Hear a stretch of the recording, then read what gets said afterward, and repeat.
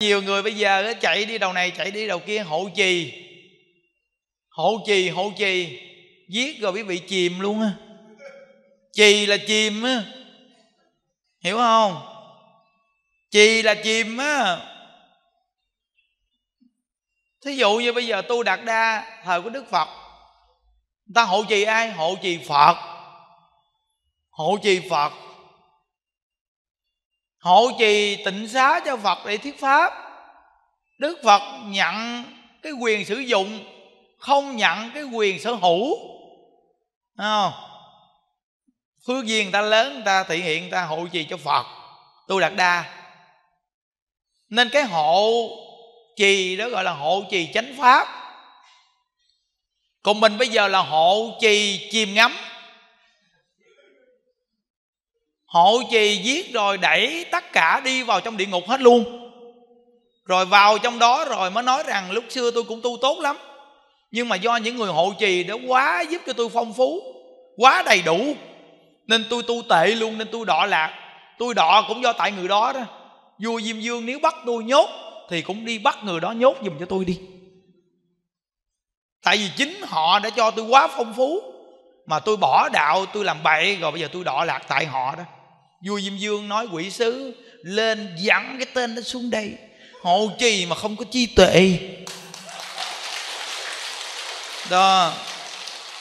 Người ta xa căn nhà người ta rồi đem ông nguyên một cái căn nhà biệt thự cúng giường đem á, tiền bạc đưa cho người ta thiệt nhiều. Rồi á, quý thầy đến bắt đầu là lo lắng cái này kia quá đầy đủ à, giống như à, có mấy ông sư huynh đi ra miền ngoài ngoài á? Ra ngoài một cái thì quý phật tử ngoài đó quý lắm. Bắt đầu nó cung phụng. Xong bắt đầu mấy ổng đi ra ngoài thời gian mấy ổng đi mất tiêu. Sau này tới mấy ông này ra ngoài cái hàng phật tử ngoài đó nói quý thầy đi ra đây chúng con hết lòng lo lắng. Dù là nhà khó khăn nhưng vẫn bán đồ đạc để mà hộ trì. Lo lắng cho quý thầy quá trời luôn mà quý thầy đi ra đây rồi xong bỏ ăn tình vào đó rồi quý thầy ra đi, làm chúng con đau khổ. Đúng là ba trợn vô cùng luôn. À bây giờ nhiều người tu chúng ta, nó tu ra ngốc quý vị. Đi học phật pháp, học ra ngốc nghếch. Cái gia đình mình lo chưa xong, nó mà lo cái chuyện bá dơ. Quý vị suy nghĩ đi. Bây giờ thí dụ như những đức là người xuất gia nè bây giờ nói gì độ sanh ông cứ độ ông đi. Ông tu cho tốt đi. Tôi thấy rằng con người ta có thể làm việc người ta nuôi cả gia đình người ta. Ông là dù người xuất gia đi chăng nữa, ông cũng làm việc gì để ông nuôi bản thân ông để ông tu được không? Cần gì hỗ trì rồi lâu ngày từ từ nó có cái đức hạnh tu hành, tự nhiên chư phật bồ tát điều người đến. Đó là duyên tự nhiên người này vừa xuất hiện nơi đó, bắt đầu là chúng ta bán của cải, đem của cải để cung phụng, để lo lắng. Trong khi cái chuyện gia đình mình lo chưa xong mà lo cái chuyện bá dơ, lo tầm bậy. Chưa biết người ta làm sao hết trơn á, tự nhiên nhào vô kiếm ăn. Vậy mà nói rằng công đức này không biết công gì, chắc công vòng quá. Công đức cái gì? Đúng không? Phải có trí tuệ mà hộ trì.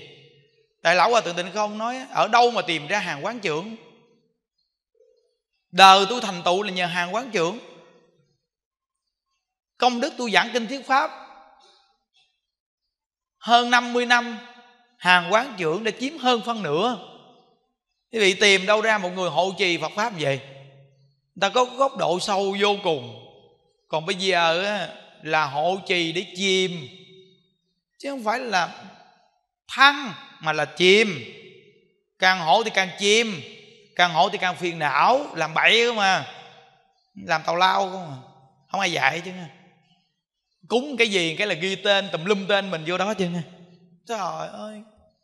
Học phật như vậy thì thật sự mà nói, chỉ là giống như chờ nóng cầm quạt quạt chơi thôi quý vị.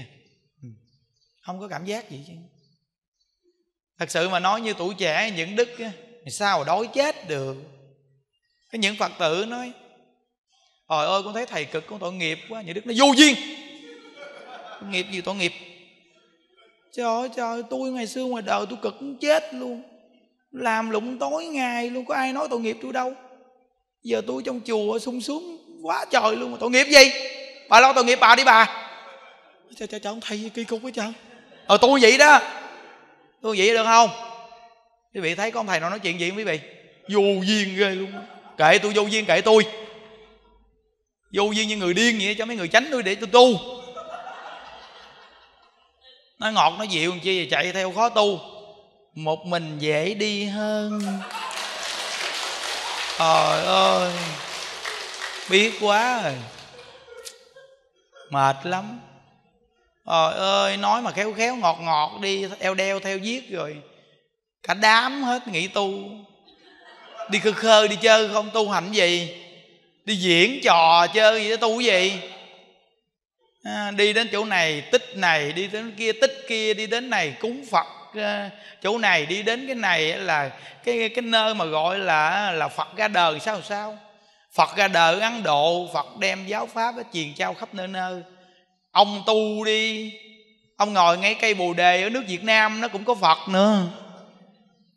Chứ làm gì tìm phật ra bên ấn độ tới cõi bồ đề ấn độ sợ ông không tu, nếu ông không tu rồi ông ra tới ngay cái chỗ phật nhập niết bàn, ông ngồi đó ông tu, nó cũng không thành đạo nữa. Trời ơi, ông tu đi, cái cây bồ đề ở việt nam này ông ngồi, ông cũng thành đạo nữa. Nếu ông chăng thật mà ông muốn tu thì ông sẽ thành đạo, dù là cây bồ đề đó ở việt nam hay ở campuchia, hay là ở mé sông gì ông cũng thành công chứ khỏi nói cây bồ đề, đức phật thì ngồi cây bồ đề, ông thì ngồi cây me. Ông cũng thành đạo nữa đâu có nói cái chuyện là ngồi ngay bồ đề mới thành đạo. Phật thì cao cấp, ngồi bồ đề tôi yếu ớt, ngồi cây me, ngồi cái xài, ngồi cái ổi chơi được không? Nó, trời ơi, cái thật chất vẫn là tu hành quý vị. Đi theo ào ào làm gì cho nó mệt. Quý vị coi ngày lễ không? Những đức tự tại ghê chưa? Trời ơi, đi đến đâu là một mình. Đi không có ai theo vòng vòng hết chứ. Mệt chết đi. Tôi là kẻ ăn mài mà ai mà đụng đà chạm tới tôi làm gì? Đụng tới tôi mẹ. Chạy chùa mà công, phải không? Tôi không chạy mới bị chạy á. Rồi cái người này ngày xưa mà hư hỏng mà con chó mà không liếm vào mặt, vào tay vào mình chi gớm đúng không? Cái nhiều phật tử nói, trời, con thấy thầy cực, con đau lòng thôi mệt quá đi đau lòng gì mà đau lòng? Tôi cực gì đâu trời ơi màu mè quá ngày xưa tôi khổ muốn chết luôn. Từ 6 tuổi là tôi đi lụm lúa lụm đậu. À, rồi tới 15 tuổi là tôi giác công đoàn 3 năm 18 tuổi xa gia đình đi làm 11 năm cho thành phố 29 tuổi đi tu. Cực quá trời vô chùa 5 năm chờ làm quá trời tôi bây giờ là sướng quá rồi đó. Lâu lâu nói chuyện ho vài câu cái đó là bình thường thôi. Ho ai mà không ho trời ơi, ngày xưa đố mà, ai mà thấy mình ho mà tội nghiệp giờ tự nhiên cái thấy ho ừ, con mua thuốc cho thầy. Đem thuốc về nghe chưa? Đem thuốc về cho chồng đi nghe. Đem ở đây có ngày có chuyện với tôi á. Lo cho chồng đi. Mệt chết tôi có người lo, tôi tự lo cho tôi được. Tôi tập, tôi tự lo cho tôi. Mai mốt tôi tự đi. Mấy người lo cho tôi, mai mốt tôi yếu thì sao? Đúng không? Mọi người chúng ta tự dựng cờ mà chạy. Nghe không? Nó phật nói là tự đốt đuốc mà đi mà. Cố gắng đi, lập trình mình cho đặc sắc. Con người sống mới làm sao có sự lập trường? Người nó phải tự lập cao. Mình là chỉ có nương vào cái nguyện của phật nhưng mà mình phải có cái tự lực đầu tiên. Chứ mình đừng có gọi là mình bê tha được quý vị. Tự nhiên tu hành với yếu ớt luôn à ngày xưa kẻ ăn mài này nằm đầu đường xó chợ. Có khi nhậu xỉn nó nằm ngoài đường ngủ luôn mà không bệnh gì chứ ha bây giờ tu giết làm sao mà tự nhiên ra xương chút là vô duyên ghê luôn á. Nó tệ chưa? Tự mình làm mình giết thành yếu ớt quý vị. Nó không ra một con người tu hành cứng cỏi. Người ta đúng ra người ta tu hành, người ta luyện, người ta giết, nó trở thành một con người nó mạnh mẽ. Từ người yếu luyện thành người khỏe. Còn mình tu hành là từ người khỏe luyện thành người yếu yếu ớt luôn à. Cung phụng quá vì yếu ớt luôn quý vị. Như những đức mà nói rằng là quý vị biết rằng khi ăn cơm mà mấy cô hứng giùm ly nước đem có uống là cảm thấy cũng quá đáng quý vị. Quá đáng. Đúng rồi, còn trẻ này tự đi uống nước chứ đừng để người ta hứng. Nên nói mà lúc trước mà đem mấy cái ly, mấy ly miễn rồi ly phật tử cúng dường á, ly đẹp đẹp như đức nói rung quá à. thôi lấy ly mũ giùm tôi đi. Uống xong đập bóp tại chỗ không bể nữa. Ly mũ. Không? Nhẹ, dễ dùng, không bị ruột tay bể. Khỏe ra thấy chưa? Trời ơi, tạo ông chi cho nó hình thức. Còn những đức nói, lúc trước mà mấy cô mua nguyên một cái à, không phải mấy cô mua phật tử đi uống giường á, mấy lố chén cho những đức ăn cơm, chén vàng á những đức nói, thôi, tôi không ăn chén vàng được đâu. Tôi ăn chén giống mấy cụ, chén màu gì các cụ ăn thì tôi ăn chén màu đó đó niệm phật giảng sanh là giảng sanh nè, chứ không phải ăn chén vàng mà niệm phật giảng sanh. Chén vàng mà cái tâm đen thui, khỏi đi miệng luôn. Nói tôi nghe, nói tôi á ừ khỏi, dẹp, tập đi, cho làm sao nó tiện lợi cho sống mình mà. Sau này cuộc đời chuyển thế thì sao cũng sống được. Thí dụ như mình có con đi, mình dạy con mình tự lập thì sau này cuộc đời có khổ con mình vẫn sống được. Đó mới là thương con mình thương một con người là mình tạo cho người ta một cái năng lực sống mới là thương người ta thật sự. Còn mình dung dưỡng cho người ta đến hư thì sau này lỡ người ta khổ, người ta sống sao đây? Mà thường là cái người yếu nhớt nó không có lập trường là con người nó đi cầu cạnh người ta không à. Đi cầu cạnh và đi nịnh hót người ta để mà kiếm cuộc sống. Tại nó làm biến thì phải đi cầu cạnh còn nếu như quý vị mà có bản lãnh thì quý vị đâu có đi cầu cạnh đâu. Tại vì quý vị nghĩ rằng chén cơm, manh áo, nếu mà không có cuộc sống thì đi làm. Thật sự mà nói không có trình độ như những đức cũng đi làm hồ cũng có cuộc sống nữa quý vị. Làm hồ ngày được hai trăm mấy quý vị. Những đức dễ xài hết trời ngày làm hồ hai trăm mấy không xài hết đâu. Những đức là khả năng làm hồ được á. Trời như đức làm hồ ngon lắm quý vị. À, trời những đức nói một ngày bây giờ mà như đức ăn chay niệm phật này những đức làm hồ mà được hai trăm ngàn chắc những đức nghỉ một tháng những đức dư bèo gì cũng là 3 triệu tại vì một ngày như đức xài đâu có nhiêu tiền đâu. Thấy không? Vậy là thấy ngon lành là vừa làm được ra tiền mà vừa tu được nữa. Nó khỏi đi đâu vòng vòng chi cho nó mệt. Thấy không? Rồi dư từ từ cắt cái nhà nhỏ nhỏ mình ở thôi. Rồi bắt đầu là mình cứ làm mình xong. La ra niệm phật vậy đó. Khỏe không? Khỏe ra, khỏi đi đâu nó cũng làm người xuất gia bình thường gì đâu. Nên quý vị biết rằng tại vì người như thế nó đã cực sẵn rồi. Chịu khó được. Không có tạo cho mình cái thói quen của cái hưởng thụ lên con người làm sao mà trong cái hưởng thụ mà không bị nó buộc đó là đặc sắc lắm mấy vị. Có tiền mà không tham là cả một vấn đề để mà nhận thức. Tại vì cuộc đời này quý vị biết rằng chúng ta đâu có tồn tại đâu mà tham làm gì. Nội mà những đức hồi xưa những đức coi phim bao công quý vị. Những đức thấy có những người nó nghèo, cực kỳ nghèo luôn. Rồi khi nó đứng lên được, nó có củ cải vật chất quý vị. Bắt đầu nó giấu giếm một cái lai lịch sai lầm của nó đó. Trời ơi, nó sát phạt, nó giết bao nhiêu người để mà nó nó giữ cái mà nó đã tạo được của cải đó. Nên những đức nói đúng là cái này nguy hiểm thiệt nha. Bây giờ mình học phật mình mới nhìn ra được chỗ này. Nếu như mình mà là kẻ cùng đốn ngày xưa nghèo nàn không có danh không có tiền quý vị mà bây giờ có danh có tiền có điều kiện này trời ơi, nó cũng là bò bò vậy lắm quý vị. Nó bò bò nó dữ lắm á. Nó sợ bị mất đi chứ.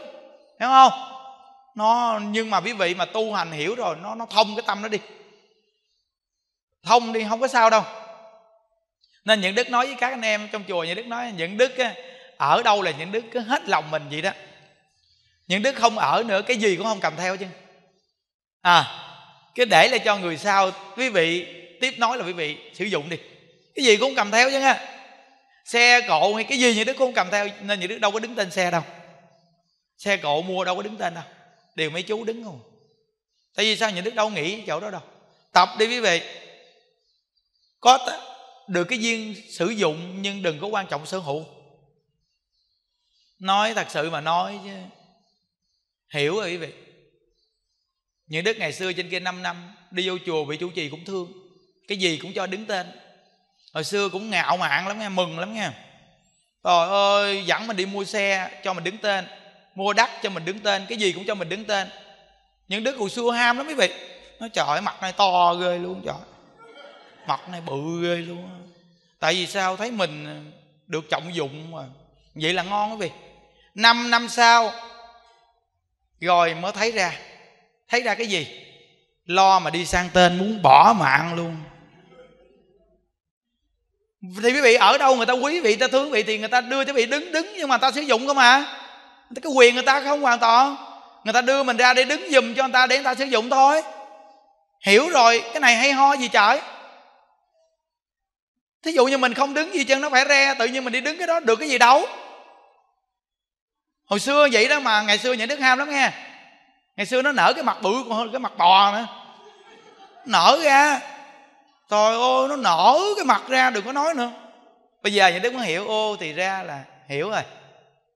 Xong 5 năm bắt đầu lo đi sang tên cho người khác. Rồi những đức thì được 5 năm tới những anh em khác được năm mấy à, thì tiếp tục sang nữa. Nên người tu chúng ta bây giờ buông xả ngộ lắm có nghĩa là mình thì sử dụng mà người khác thì cầm dùm có gì thế mạng? Xả cái này xả không đẹp rồi, đúng không quý vị? Thấy không? Xả cái này chắc khó giảng sanh lắm đó nghe. Giống như cũng học cho như chư tổ sư buông xả ghê lắm. Nhưng mà toàn á, là dùng cái cách này, cách kia để mà cho người ta đứng mà mình là người quản lý sử dụng hết hoàn toàn. Thôi, cái này là thật sự mà nói nguy hiểm ấy vị. Tu kiểu này thấy nguy hiểm, nặng nề đó. nên những đức đã trải qua thời gian rồi, những đức kinh nghiệm như đức nói. Con lại phật. Phật cho con ở đâu cho con yên đi. Đừng có thấy con mà tội nghiệp thương con mà thấy con cũng là được được á. Nói chuyện thẳng thẳng, tưởng đâu thằng này không tham. Cái gì cũng đưa cho con con lại phật. Cho con yên. Thấy không? Thôi, ngán lắm. Biết rồi. Cuối cùng bước vô, bước ra khó đó quý vị ơi. Mình thì mình muốn giải thoát mà toàn bộ là chồng lên đầu lên cổ mình, nó buộc lại không làm sao mà đi đây? Thôi đừng có ham mấy vị ơi. Ngoài đời không hiểu, tưởng đâu đứng tên của cải là ham. Trời ơi, miễn là sử dụng được rồi thôi ham làm gì? Hai vợ chồng, ông muốn đứng cái gì ông đứng đi. Phước trong mạng, có là có, không có là không có. Chúng ta đi suy nghĩ, mua mẹo làm chi mình đứng thì sau này có gì mình lấy lấy hết. Lấy hết thì cũng được, đó là phước của ông thôi. Nếu trong mạng ông không có phước, ông cầm coi chừng ông bỏ mạng á tôi không có phước ông cầm là bỏ mạng vì hiểu không? Còn phước thì sống mà hết phước thì chết. Nếu bạn không có phước mà bạn cầm cái phước lớn á, là tức các bạn chết sớm liền. Chết liền không nói chứ á hiểu ờ, ai mà dạy làm chuyện gì chứ vì không những đức nói thì câu thô thô ngang ngang vậy đó nhưng mà tùy quý vị. Nhưng những đức tin chắc rằng nguyên một cái dàn đại chúng mình đều hiểu hết trơn. Vì quý vị nghe cái tông gì đức nói chuyện quen à. Nếu những đức đổi tông là quý vị đi về đi về, đúng không? Tại vì cái tông này nó quen rồi. Nếu mà sau này tự nhiên những đức nói chuyện nha. Quý phật tử, lúc này khỏe hay không? Thầy lúc này à, rất là tinh tấn. Nói chuyện không hở môi. Tức khắc quý vị bỏ về liền á. Vì sao? Vì cái tông này nó không thật. Tông không thật quý vị. Ừ. Rồi cách nay ba ngày có một cái cô đó cô đem lại tấm hình 8 năm về trước của những đức quý vị công nhận luôn, nó xấu. Trời trời nó không tưởng tượng được luôn á. Đúng là những vĩ vãng đã qua, mình không muốn nhìn lại mà tự nhiên đem đưa cho mình. Tấm hình này 8 năm về trước của thầy nè thầy. Ồ nó không tưởng tượng được, quý vị ơi. Quý vị muốn coi không cho bị coi.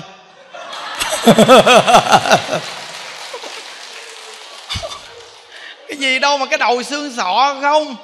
Mà nguyên cái mặt là cái miệng nguyên cái mặt là cái miệng. Không thấy cái lỗ mũi không thấy con mắt mà thấy cái miệng không à? Quý vị nghĩ cái mặt gì mà thành cái miệng quý vị nghĩ sao quý vị? Mà môi thì thâm đen thui. Thì kinh khủng không? Mà cái đầu thì kỳ lắm kìa. Sọ đầu nó lòi lòi lòi lòi lòi, cái gì đó. Hồi thời đó 45 kg quý vị. Nó cho nhìn gì đó mà kinh khủng thiệt đó. Chắc là nói mà xấu chắc không ai dám dành với mình luôn à vậy mà ngày xưa hung dữ lắm nghe. Hung tợn ghê gớm lắm. Ôm nhơm ôm nhách vậy chứ nhào sạc sạc sạc cái ghê lắm. Thôi ơi hồi đó mà nhớ mà mà ai mà biết mà đi lên trên đó đó mà nhớ mà cái chỗ mà tiếp khách mà ở ngay cái cửa bước vô á. Hồi xưa là cái đó là cái cái cái cái, cái chỗ đựng rác. Cuối cùng những đức dọn chỗ đó những đức làm cái phòng tiếp khách. Những đức thì ốm nhơ ốm nhách mà cái mặt thấy ghê mà mặc bộ đồ đen nữa chứ sọ đầu lòi lên nhìn ghê lắm mắt không mà hồi xưa con mắt như đức ngộ đó vị ơi. Con mắt những đức sao trồng trắng không à? Nó giống như là ma với vị ơi chứ không phải là con người. Ồ, con mắt những đức ngày xưa sao nó lòi ra mà cái miệng nó bự dữ lắm còn cái đầu thì trên nó chù vô qua à. giống người mắc kim tích vậy đó. Trời ơi những đức nói gì đâu mà công nhận là nó xấu thiệt luôn quý vị ơi không có một số nào luôn á. Vậy đó mà hai bên thì mấy chú đứng hai bên. Những đức ngồi xuống giữa giống như ma mà hai bên mà mà gọi là ngồi gì đâu mà kỳ cục gì đâu vậy mà phật tử đến chụp hình á. Chụp hình rồi gửa ra vậy mà 8 năm, ta đem lại đây quý vị. Đưa những đức nó thầy nè, thầy, coi đi. Nhưng đức nói, bà đưa hình này cho tôi. Hỏi, đem đi đâu thầy? Đem cắt nhìn ghê gớm quá. Để làm dữ liệu về sau ôi ô gì đâu mà nó kinh khủng quý vị ơi. Vì quý vị biết sao năm năm về trước nhà đức săn si quá. Bây giờ những đức mới học được cái bài học săn si. Thì ra, có cái tâm mà săn si mà luyện được trong đó 5 năm là kết quả lớn lắm quý vị. Người ta là chừng 2 năm là gớt đài à. Như vậy mà những đức 5 năm chưa bỏ cuộc nghe. 5 năm xong săn si quý vị quảng chúng quýnh người ta kịch liệt luôn. Chửi người ta quá trời luôn. Đâu biết gì đâu. Còn hung dữ kinh khủng lắm quý vị. Mà chắc là do người ta quá dữ nên những đức dữ hơn người ta. À, người ta dữ quá ngàn năm trăm người. Nhân sự thì mình làm hết trơn luôn.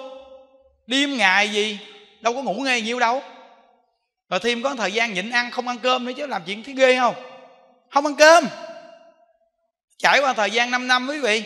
Ồ nó săn hẳn mỗi ngày mấy người bên cạnh những đức nghe. Mà những đức cũng khôn. Làm gì nè? Nó chửi người ta mà nói gì nè?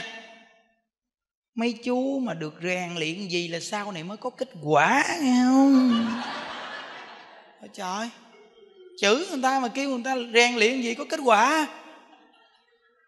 Cái ông núi á, ông núi là ngày xưa bị như đức. La nhất luôn mỗi lần ông đến hỏi tiền là như đức.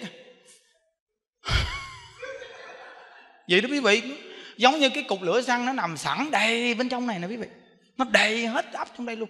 Có nghĩa là những đức nhìn cái gì, những đức cũng cảm thấy là những đức bực mình hết chứ rồi nó đến mức cực điểm như vậy vậy mà những đức nói, bỏ mạng luôn cũng không không không bỏ đi nữa. Đúng là nó liều mạng trong cái săn hẳn quý vị. Khi làm việc là bên cạnh những đức người nào người nấy nè, người thì mắt to như hiếu mắt lòi.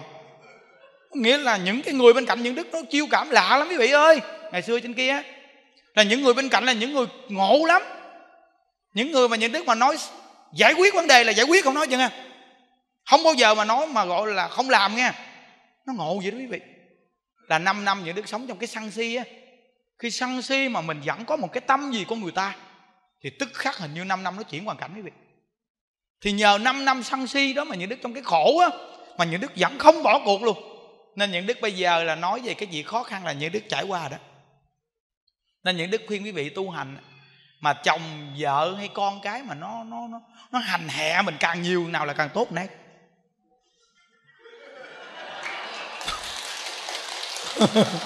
không thiệt á. Quý vị muốn giảng sanh thì phải bị hành hạ. Nhưng mà đã không bị hành hạ thì nó thương yêu thì quý vị đừng bị buộc ràng. Thương yêu đừng dính mắt thấy không? Hành hạ đừng buồn phiền.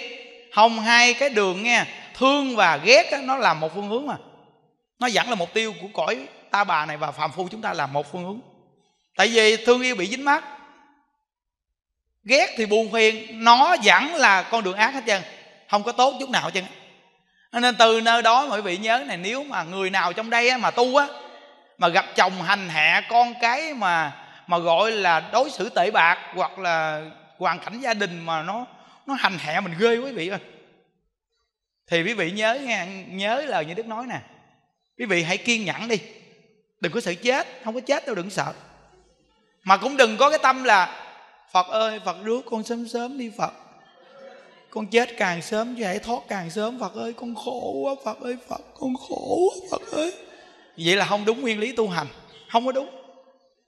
Mà mình ở trong cái khổ te tua đó đó, ở trong cái khổ te tua đó mà mình không than vang mà không than vang là nó ngay cái chỗ tính nguyện niệm phật và tin nhân quả mà không than vang. Đó. Nó không than vang chút nào chứ. Ở trong cảnh đó, nó không than vang chút nào hết. Mà có khi nó bực bội nó than vang vài câu xong cho qua. Như ngày xưa những đức năm năm trước là lâu lâu than vang. Nhưng mà xong cho qua tiếp tục làm nữa. Không bỏ cuộc. Đó đó đó phàm phu mình đó. Chứ không phải là hoàn toàn không than vang. Có khi cũng than vang một chút. Nhưng mà không biết than vang cùng ai. Đúng không? Thôi đến đây than vang những đức cũng được. Đúng không? Đó. Nhớ nha đừng có bỏ cuộc. Và trong cái khổ đó, đừng bao giờ tìm đường để chạy trốn. Đừng có tìm đường chạy trốn, cứ tu đi. Cứ tiếp tục niệm phật đi. Cứ vui trả nợ đi. Rồi tức khắc từ từ nó sẽ có một cái sự quyển chuyển lạ thường lắm. Rất lạ. Ờ nó. Rồi quý vị coi nè. Nó đối xử với quý vị rất tệ xong quý vị luyện được cái điều mà nhà đức hướng dẫn á nhẫn chịu á rồi bị tu niệm phật thời gian cái nó chuyển luôn ông chồng. Cái bắt đầu ông chồng ông quay ngược lại cái cách khác đó là thương yêu. À quý vị sẽ thấy nè hồi lúc trước á, thì nó không thương rồi quý vị tu giết cái nó thương. Rồi nó thương rồi lúc đó quý vị coi chừng bỏ tu tại vì nó thương là khó vượt qua. Trong cái cõi đời khổ nên cầu giải thoát. Thương thì chúng ta để bị núm níu không không không hướng đến con đường giải thoát nữa. Nên cái mà bị hành hạ có khi lại cố gắng tu và giải thoát. Nhưng cái thương yêu chiều chuộng coi chừng bỏ tu á.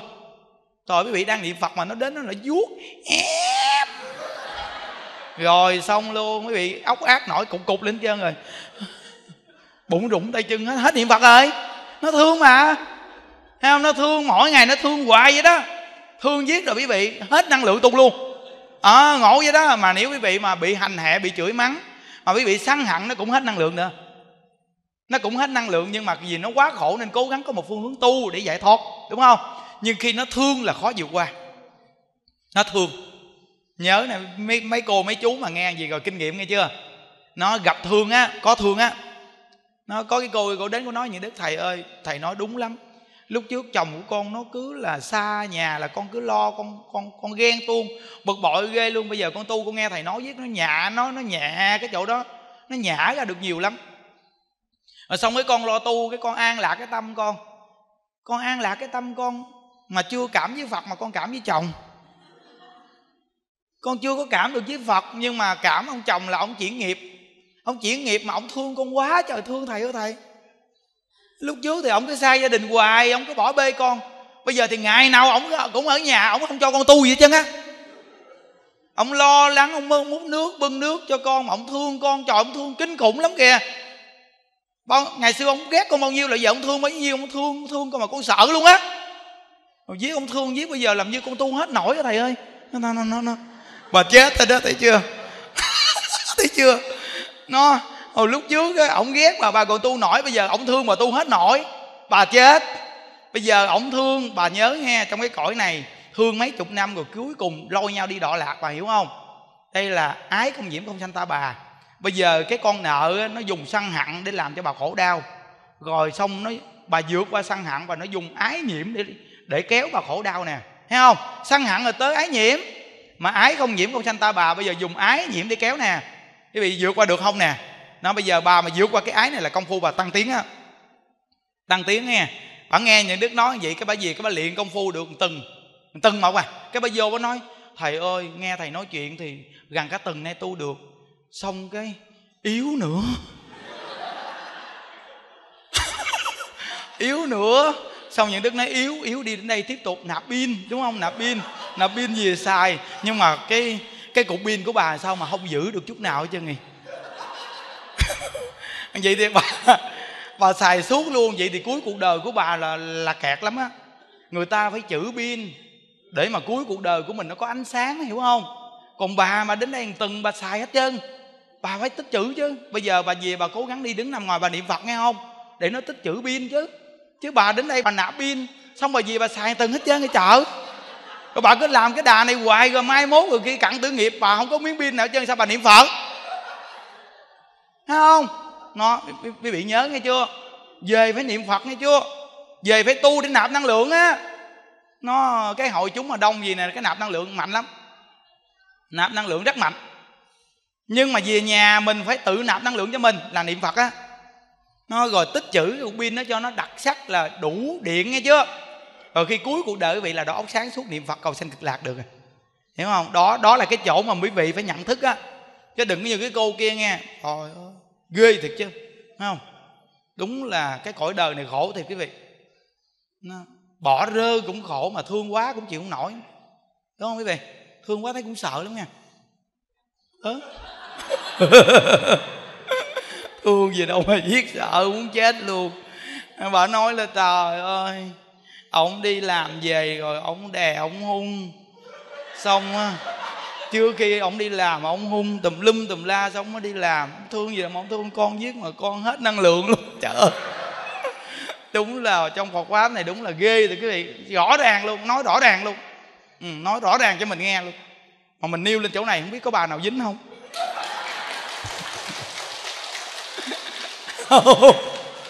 Nên từ nơi đó quý vị thấy cái cõi đời không? Nên đức bổn sư thích ca mâu ni ngài nhìn thấy rõ ràng ngài nói ta bà khổ khổ không thể nào nói hết đúng là nó khổ, nó quay quằn trong cái khổ. Có nghĩa là hướng đông, hướng tây, hướng nam, hướng bắc nó chuyển hướng. Chuyển hướng đi khổ quý vị. Chuyển hướng để mà nó dập chúng ta. Chuyển đủ hướng nghe. Nó chuyển đủ hướng chứ. Còn khi cặn tử nghiệp nghe nếu quý vị mà không luyện được công phu tính nguyện nó cặn tử nghiệp đó. nó đến nó dịnh tay dịnh chân quý vị. Anh anh ơi, anh, em, đừng bỏ anh nghe em. Đó đó đó đó đó đó. Lúc này nè cái lúc này là quý vị có đủ điện hay không này để giải quyết vấn đề này hay không? Cái lúc đó mà tự nhiên cặp mắt của mình mở ra, mình nhìn thấy ổng á, ngạn ngào, phải không?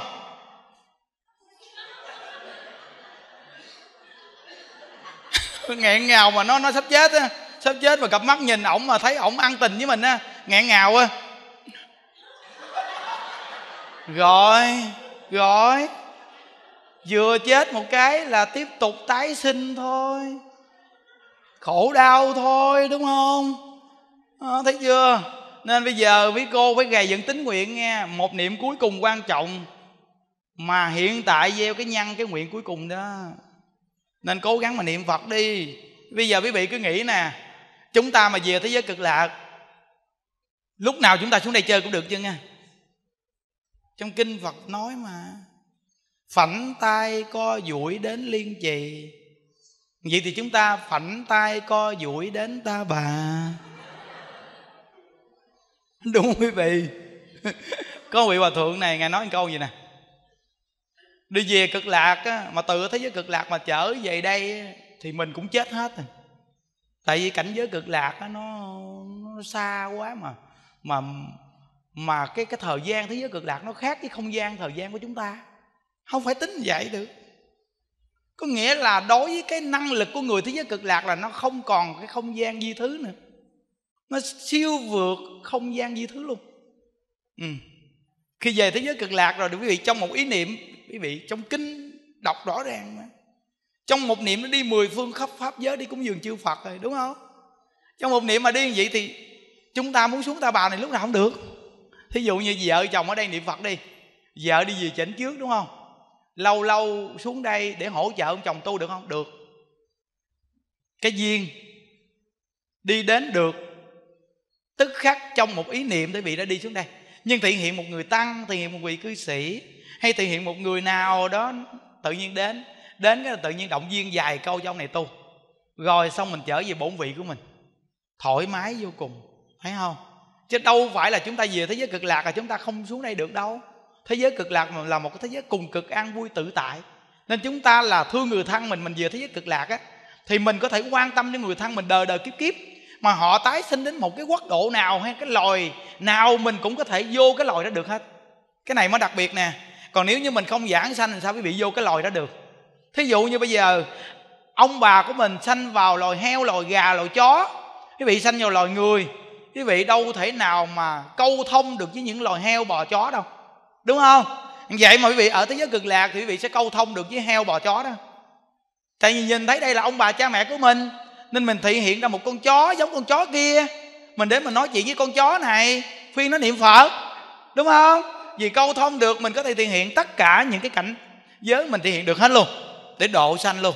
Thí dụ như ông bà mình đầu thai làm loài ngạo quỷ, thì chúng ta xuống với loài ngạo quỷ, làm loài quỷ để câu thông, để phiên loài quỷ này nên giảm lòng tham nếu mà ông bà mình sanh vào trong địa ngục thì nhất định mình sẽ sanh vào trong cái chỗ địa ngục. Nhưng mà mình bỏ vào chỗ giàu mình không khổ. Mình ôm cột đồng mình không khổ. Mình bị đánh đập không sao hết luôn.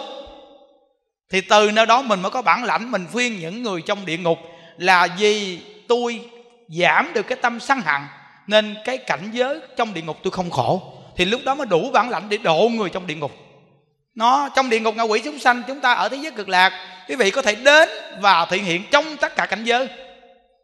Tất cả cảnh giới của mười phương khắp pháp giới luôn. Năng lực này là đức phật a di đà đã phát. Chúng sanh về quốc độ của ta đều đạt được như vậy. Nên quý vị suy nghĩ đi, chúng ta giảng sanh là một cái tâm lượng rất lớn. Chứ không phải là chê chán cõi ta bà mà chúng ta muốn về thế giới cực lạc để hưởng thụ đâu, hiểu không? Nên quý vị nên phát tâm mà về cực lạc đi, đó mới là một quốc độ tuyệt vời đó đây là trong kinh phật mà chúng ta đã đọc qua. Chúng ta nêu lên để mà cùng niệm phật. Quý vị nghe gì cảm thấy thích lắm. Thích niệm phật lắm. Những đứa cũng thích niệm phật lắm quý vị. Dù là công việc bận biểu nhưng những đứa rất thích niệm phật. Đó. Đi đâu cũng cầm máy bấm số chứ nữa cầm với thành quen luôn à. Nó nó, nó quen luôn quý vị. Những đức ờ, thấy chùa mình nó ra chiếc máy V52 nó nó đặc biệt thiệt. Hôm qua những đức nói chuyện phật tử mấy người những đức nói ngồi ngẫm nghĩ cũng ngộ. Ngày xưa cái thời mà giặc giả mà nghe B52 là ai cũng sợ, đúng không? Nó càng quét ghê quý vị. Nơi nào mà B52 nó nó càng quét là khổ đau nhân dân, đúng không? Thì đó là thời giặc giả. Còn bây giờ xuất hiện cái máy V52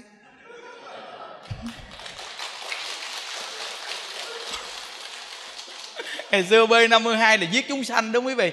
Bây giờ chiếc máy V52 mình là để giúp chúng sanh nó có nhiều người bây giờ cầm chiếc máy V52 mình nó nghe, trời ơi, ngồi cười mình.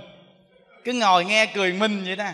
Nên những đức nói với vị viết tết này à, vị à, đi về bên nội bên ngoại à, cầm theo mấy chiếc máy tặng cho bên nội bên ngoại. Uhm. tặng bên nội bên ngoại xong, lăn cặn chùm sớm tiếp tục mà rải của môn tịnh độ này rộng ra. Nó giải quyết xong vấn đề bên nội bên ngoại xong hết rồi, mùng 2 vô ăn tết. Ở qua mùng 6 gì? Được không? Nó thấy không? Nó bỏ tiền lì xì chút đỉnh cha mẹ còn sống đúng không? Lì xì cho cha mẹ chút đỉnh tiền. À, rồi xong à, ăn tình. Nó thương yêu. Tại vì người ta chưa tu nhiều mình cứ đem tình thương yêu thật sự đến với người ta. À. rồi xong hết chứ việc cha mẹ hai bên đàng hoàng. Dòng họ sớm riền đâu vào đó hết. Gia đình thì à, thờ phụng đàng hoàng. Xong rồi hết gia đình đóng cửa lại đi đến chùa luôn từ mùng 2 tới mùng 6 qua mùng 6 mùng 7 gì? Nó ở mấy ngày trong chùa? Rồi bắt đầu là mỗi ngày lên chánh điện niệm phật niệm phật. Rồi niệm phật xong xuống ăn cơm ăn cơm xong đi vòng vòng niệm phật, rồi tặng quà cho phật tử. Rồi xong rồi về ngủ. Ngủ xong rồi chiều niệm phật. Niệm phật xong xuống ăn cơm. Ăn cơm xong rồi đi tắm. Đi tắm xong về nằm nghỉ. Nằm nghỉ xong rồi chút đi tu thì thấy không nghe chảy nước miếng luôn á. Thấy tèm luôn á, trời thấy không quý vị? Rồi bốn năm ngày quý vị ăn tết trong đây nghe quý vị, không có nhìn thấy tiền. Không nhìn thấy tiền đâu. Tại vì sao? Vì vô đây không có xài tiền nó không nhìn thấy tiền. Đó, không nhìn thấy tiền, vì tiền đó cho cha mẹ hết đi. Hoặc là giữ gìn ở nhà hết đi. Rồi vô đây mấy ngày, để điện thoại ở nhà luôn. Không cầm vô đây luôn. Bốn năm ngày trong đây nó mùng 3 là cộng tu đầu năm mùng 6 là chúng ta tổ chức chương trình mừng thọ. Nó cha mẹ khắp nơi nơi đưa đến đây mùng 6 Ôi, cơ hội. Để cho cha mẹ mình được vui vẻ ngày mừng thọ. Nhiều người già quý vị. Đó nên từ nơi đó quý vị thấy cuộc đời mình vui vẻ đặc biệt là ngay cái gì?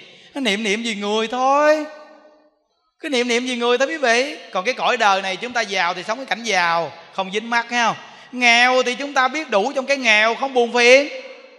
Nó, nên mấy cô nào mà thí dụ như năm nay mà ba, bốn đứa con rồi đó, dẫn vô đây hết đi, có mấy ngày tết không sao đâu. Cho nóc nái ảnh ương nó nằm đầy chua hết chứ. Nó khát sữa vậy đức mua sữa cho nó uống luôn. Sợ gì? Trời ơi, mình lo cho con người mình không có sợ cái việc mình ăn thì hết, mình cho thì còn. Đừng có sợ phải không? Tâm lượng từ từ từ nó mở rộng ra, nó không có lo sợ hết tiền đâu. Lo cho người ta sao hết tiền. Phật đã dạy mà càng bố thí càng nhiều mà sợ gì? Không có sợ giết là tâm lượng nó mở rộng ra. Nó nên quý vị nhớ, đã giúp cho người đã cúng dường thì đừng bao giờ mà chúng ta mà chần chờ làm thì làm, chứ đừng có nói mà ở nhà mà tính đi đến chùa cúng dường chịu. Vừa đi đến chùa cái nói nghe ông thầy nói chuyện xong ở chùa đâu có thiếu thốn gì đâu. Thôi cúng 500 thôi. Hồi hôi cúng dường mà cũng rút lại nữa. Người ta vừa phát cái nguyện là ta làm đúng cái nguyện liền Không có giỡn đâu quý vị à. Ừ. nên từ nơi đó mình, đây là những đức phải kêu bị cúng dường, nhưng mà những đức muốn nói là đừng có cái tâm bỏng sẻ mà cúng dường cho phật. Hiểu không? Nó, còn khi đi cúng dường trong chùa mà có khi điếm tiền cái à hai ngàn, sợ. Phật xài hai ngàn thôi. còn hai trăm ngàn để cho con xài. Đúng không quý vị? Nó, thấy chưa? Cái cơ hội cúng dường mà mình đi mang cái tâm đó để cúng, sao có được? Hiểu không? Nó, mình mà cúng dường tam bảo, rét. Rét. Chứ không có mà kiểu mà rút tiền mà.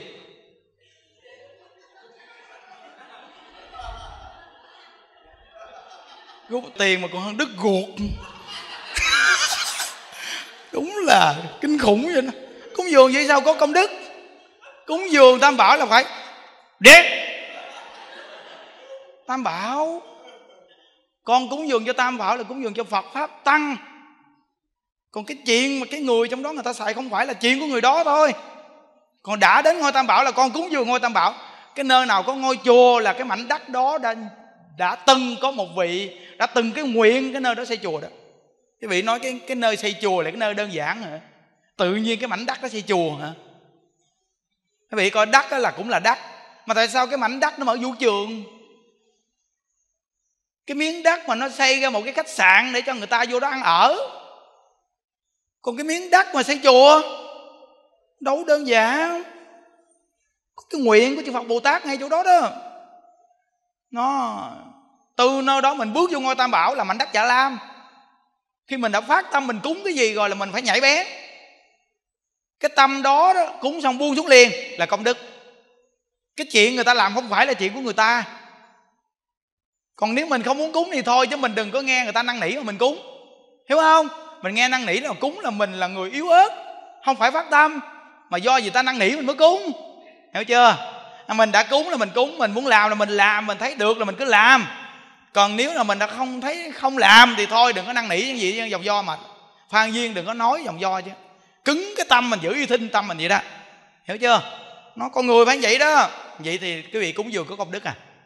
Nó, nên có nhiều người những đức mà nhiều người gì hồi xưa những đức mới đi chùa xưa trên thành phố những đức biết. Chính những đức nè. Những đức đi đến chùa là những đức lựa giấy ngàn hai ngàn những đức cúng không à? Ồ cúng tiền lẻ cho phật không à? Thì biết ồ, nên từ nơi đó sau này tu từ mới hiểu quý vị. Nên mình đem cái này mình chia sẻ cho người ta nghe để mà cái tâm mình nó phải mở rộng ra. Tâm lượng lớn, phước báo lớn quý vị. Nhớ nè. Tâm lượng lớn, phước báo lớn, nhưng đừng chấp vào tâm lượng đó mà cầu phước báo lớn. Chỉ có phát tâm lượng lớn, nhưng đừng cầu phước báo lớn. Có cái cầu là tức khắc nó không có cái phước báo lớn. Hiểu không? Nó nghĩa là chỉ làm cái việc này chân thật thôi chứ không có cầu phước báo lớn vậy thì nó mới là thiện căn công đức lớn. Nó làm bằng một cái tâm rất tự tại. Nó còn khi cúng dường cho người ta tạo tượng đúc chuông. Người ta có làm không làm chuyện của người ta, chứ đừng có cúng xong mà đi về về chùa hoài cái chợ. Có những phật tử mà tu hành mà mà có khi mà đem tiền cúng dường tạo tượng đúc chuông hoặc là làm cái gì ở trong chùa xong chưa thấy ông thầy làm cái đi về về cái chùa. Đi về về xong cái đi hỏi han cái người xung quanh chùa xong hỏi không ra cái hỏi uh, chú tiểu trong chùa. Chú tiểu trong chùa không biết cái đi thẳng là hỏi chủ trì chùa luôn. Thầy ơi thầy con cúng dường cho thầy làm pho tượng mà sao lâu quá con không thấy thầy làm thầy? Thấy không? Nên từ nơi đó vị biết rằng nó nó nó, nó không hiểu là nó làm sai hết trơn à. Làm sai hết trơn quý vị. Nó bây hởm như đứa coi cái video này quý vị biết. Cái ông cư sĩ này ông làm cái chương trình mà ông phỏng vấn một ông thầy. Ông phỏng vấn một ông thầy. Mà ông kích thích ông thầy này để ông thầy này nói chuyện bừa bãi quý vị. Cho ông thầy này tức nói chuyện bừa bãi, ông quay phim lại. Ghê không? Những đức nói,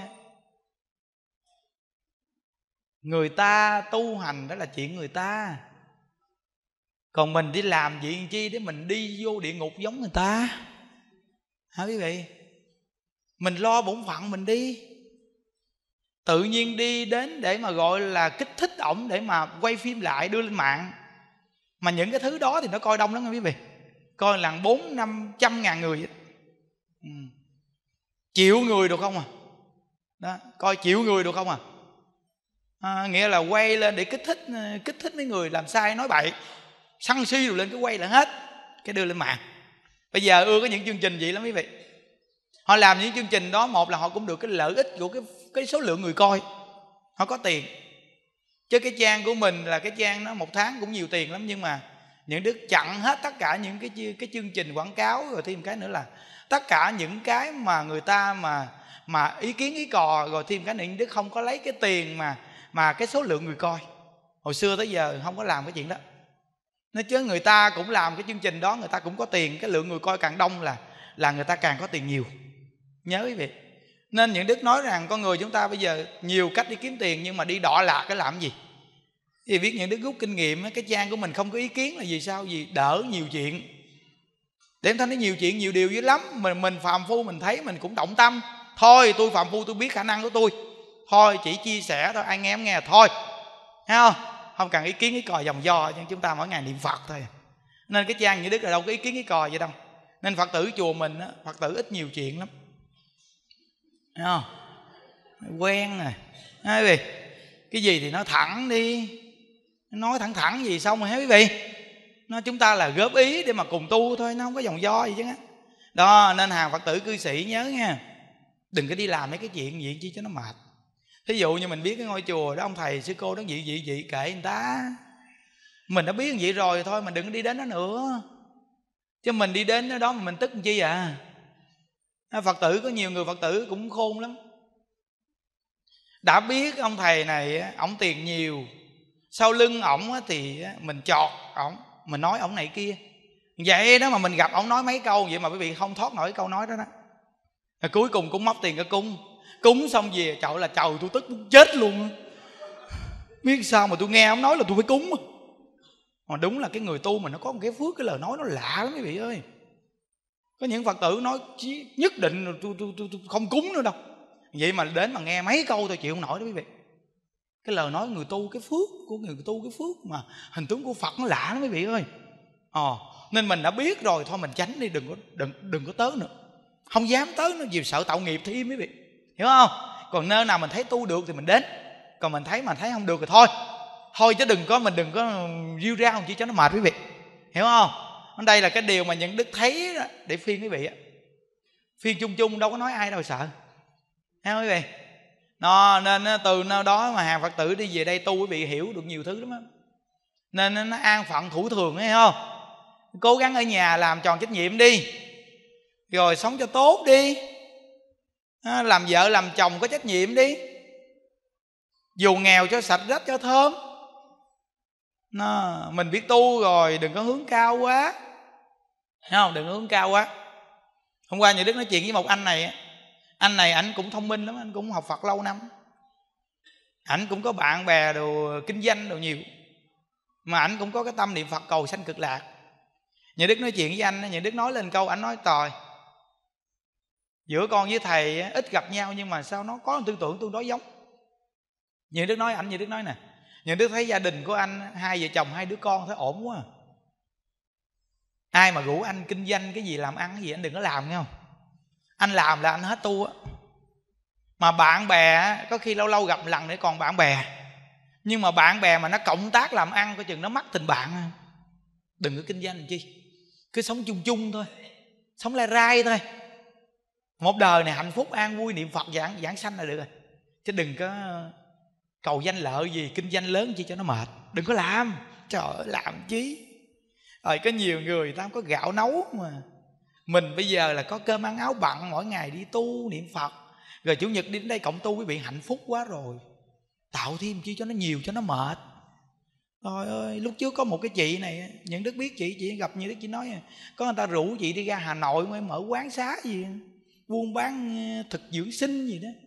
Nó thôi thôi chị ơi thực gì cũng bằng niệm phật đó chị chị. Nó mệt quá. Mình cứ làm vừa cái khả năng mình đi chị nó còn chồng đồ nó muốn giàu có thì không em khả năng em chỉ có nhiêu không làm nổi nó đâu. Làm bộ khéo khéo để gì, vì mình biết cái cõi đời này nó không tồn tại mà. Quý vị thấy kiếp nạn dồn dập mà quý vị coi trên vũ hán giàu sang vô cùng kiếp nạn đến đứng trên lầu giải tiền xuống. Vị tạo không chi cho nó mệt trời. Sống chung chung đi. Có cơm ăn áo bạn được rồi.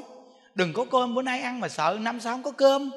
Sợ gì hoài mệt ghê không có cơm vô đây.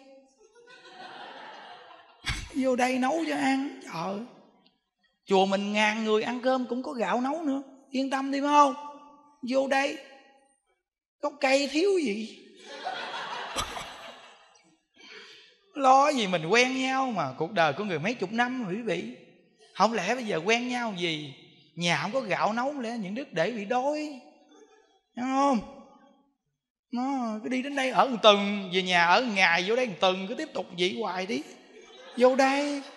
Rồi đại tùng lâm rộng thênh thang kìa. Nhà cửa bao la bên á. Cứ là kéo nguyên gia đình vô tu tuần, về ngày thôi. Thắp nhang khói, bàn thờ ông bàn chút thôi là có cái cái lệ chưa buông được đó biết không? Ngày thôi, xong vô đây sáu ngày. Thì năm có xài nhiêu tiền đâu chợ không, cần thiết thì vô đây sáu ngày tu những đức đưa cho nấm gạo về nấu. Xong bữa sau vô lượng qua đại tùng lâm bên ở rộng thênh thang bên á. Kệ có mấy chục năm mà cuối cùng những đứa cũng chết ra bả thôi. Đem cái thân này làm được gì làm đi quý vị.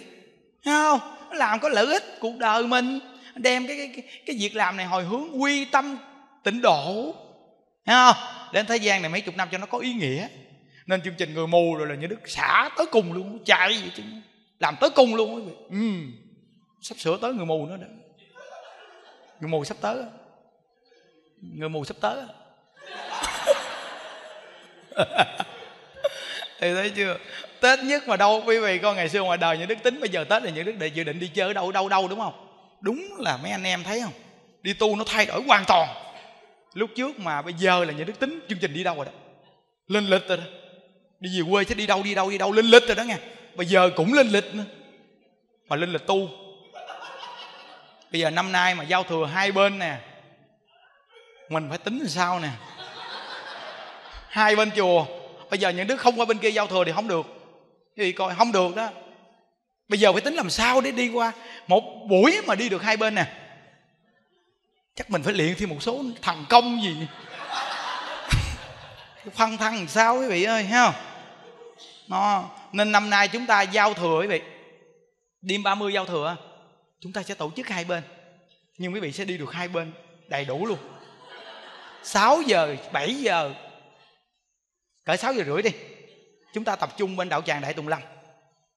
Rồi chúng ta dự giao thừa bên đó. 9 giờ, khoảng 8 giờ rưỡi gì đây?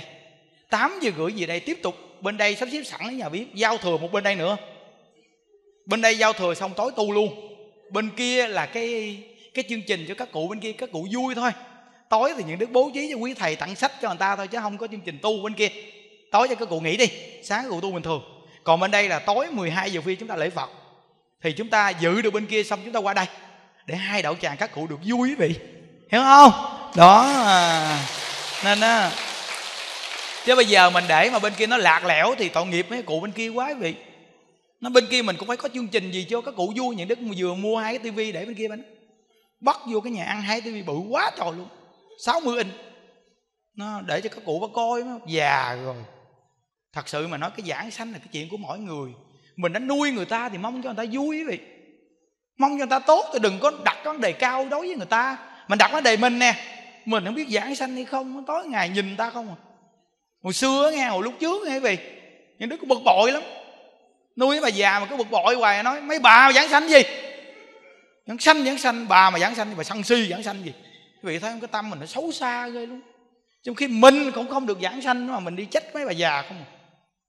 nó, quý vị biết đó. bây giờ từ từ tu, từ từ, quý vị, từ từ từ nó chuyển nghiệp. Chuyển cái tâm nó lại, quý vị. Tự nhiên mình thấy cụ mình thương cụ á, quý vị ơi. Thương cái cụ lắm. Tự nhiên mình thấy mấy bà làm sao mình cũng thương hết, quý vị ơi. Thấy là thương thật lòng tự nhiên nó phát tâm thương thiệt luôn à. Không có buộc bội phiền não với cái cụ nữa.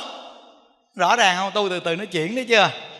Nó này về mấy cô từ từ không lẽ à, nhận đức mà còn chuyển được với các cụ lẽ mấy cô không chuyển được ông chồng? Dở vậy. Bao nhiêu trăm người người ta còn chuyển được bây giờ mấy vị có ông chồng mà mà mình đã từng chung chăn sẻ gối mà bây giờ ông chửi mình vài câu ông đá mình vài đá. Làm gì hẳn? Đúng không? Có thương thì có khổ chứ lúc nào cũng thương không sao tu. Đúng không? Nó nó thương thì nó có cái hung, thì có hung thì nó cũng có tác. Tác xong rồi nó hung. Không? nó trao đảo cõi đời, nó trao đảo để quý vị phân biệt được là cái cái thương và cái ghét nó là sao. Hiểu không? Đó, nên nhận thức đi. Tuy nhiên đức nói thì nó đơn giản vậy đó. Nhưng mà trong cái điều nói này, nó đi, nó đột phá nhiều lắm á. Trong cái giỡn đó quý vị ý nhà đức muốn nói với vị nghe là tu từ từ nó chuyển được cái tâm mình. Tức khắc nó phát một cái tâm từ bi. Lạ lắm. Chứ những đức thì không có từ bi gì đâu. Những đức là phải từ chứ không từ bi đâu ai đụng tới là ngứa ngái mà mà tu từ từ chứ nó nó phát tâm từ bi quý vị. À bây giờ thật sự mà nói mình thấy thương cái cụ thiệt. À thấy thương cái cụ. Mấy bà già bà lụm cụm lụm cụm lụm cụm. Thấy tội nghiệp ghê mà càng nuôi lâu chừng nào thì mấy bà già bà càng yếu lại quý vị. Bây giờ một số bà đâu qua nhà ăn cơm được đâu. Tại vì lớn tuổi mà nó đi theo cái cái định lực vô thường. Bây giờ cái cụ mình tám mấy tuổi nhiều quá yếu. Bây giờ ăn cơm ngồi tùm lum bây giờ phải tính làm sao để dọn một cái phòng. Để để mấy cái bàn ăn để cho mấy bà yếu bà ở cái khu yếu bà vô qua phòng bà ăn cơm.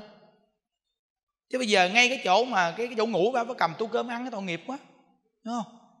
Quý vị tại vì càng ngày càng già cái cụ mình thì già nhiều tám mấy nhiều lắm. Nguyên một cái khu mà cái cái chỗ này đi thẳng xuống á là nguyên khu yếu á. Quý vị vô vì coi thấy nằm nghênh ngang thấy chưa? Mà tội nghiệp cái nằm niệm phật là tội nghiệp đó quý vị. Có bà 95 tuổi 97 tuổi. Trong vòng hộ niệm thì nằm mấy bà chống á. Mà năm nay là đi cũng nhiều á. Năm nay được 15 người rồi đó. Chắc chốt sổ quá.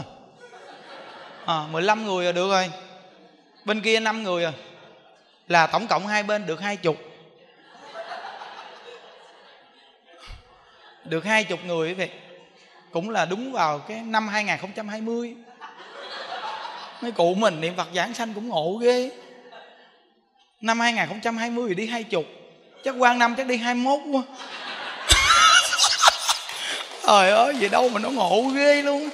Đi mà cũng đi theo năm tháng đúng năm nay hai chục luôn rồi đó hai bên là hai chục rồi. Đó. từ nơi đó mà quý vị coi những đức nói chốt sổ được nghe mấy bà. Bây giờ còn có một tháng mấy nữa ăn tết là đừng có chết nữa. Để người ta lo việc chùa sơn phết ờ, cắt bông giấy rồi được rồi đó. Bây giờ hai chục là đủ rồi. Mấy bà nói dạ con nghe lời. Năm nay hai mươi. Ăn tết xong rồi tính. Ờ à, được ăn tết xong rồi tính.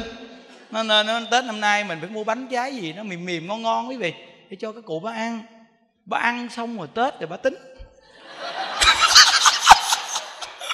Mày nghĩ đi. Trời ơi. Ăn xong rồi Tết tính. Đúng là tội nghiệp ghê, Bởi vì cứ cho người ta ăn đầy đủ quý vị. Thì khi người ta đi cũng mãn nguyện, đúng không?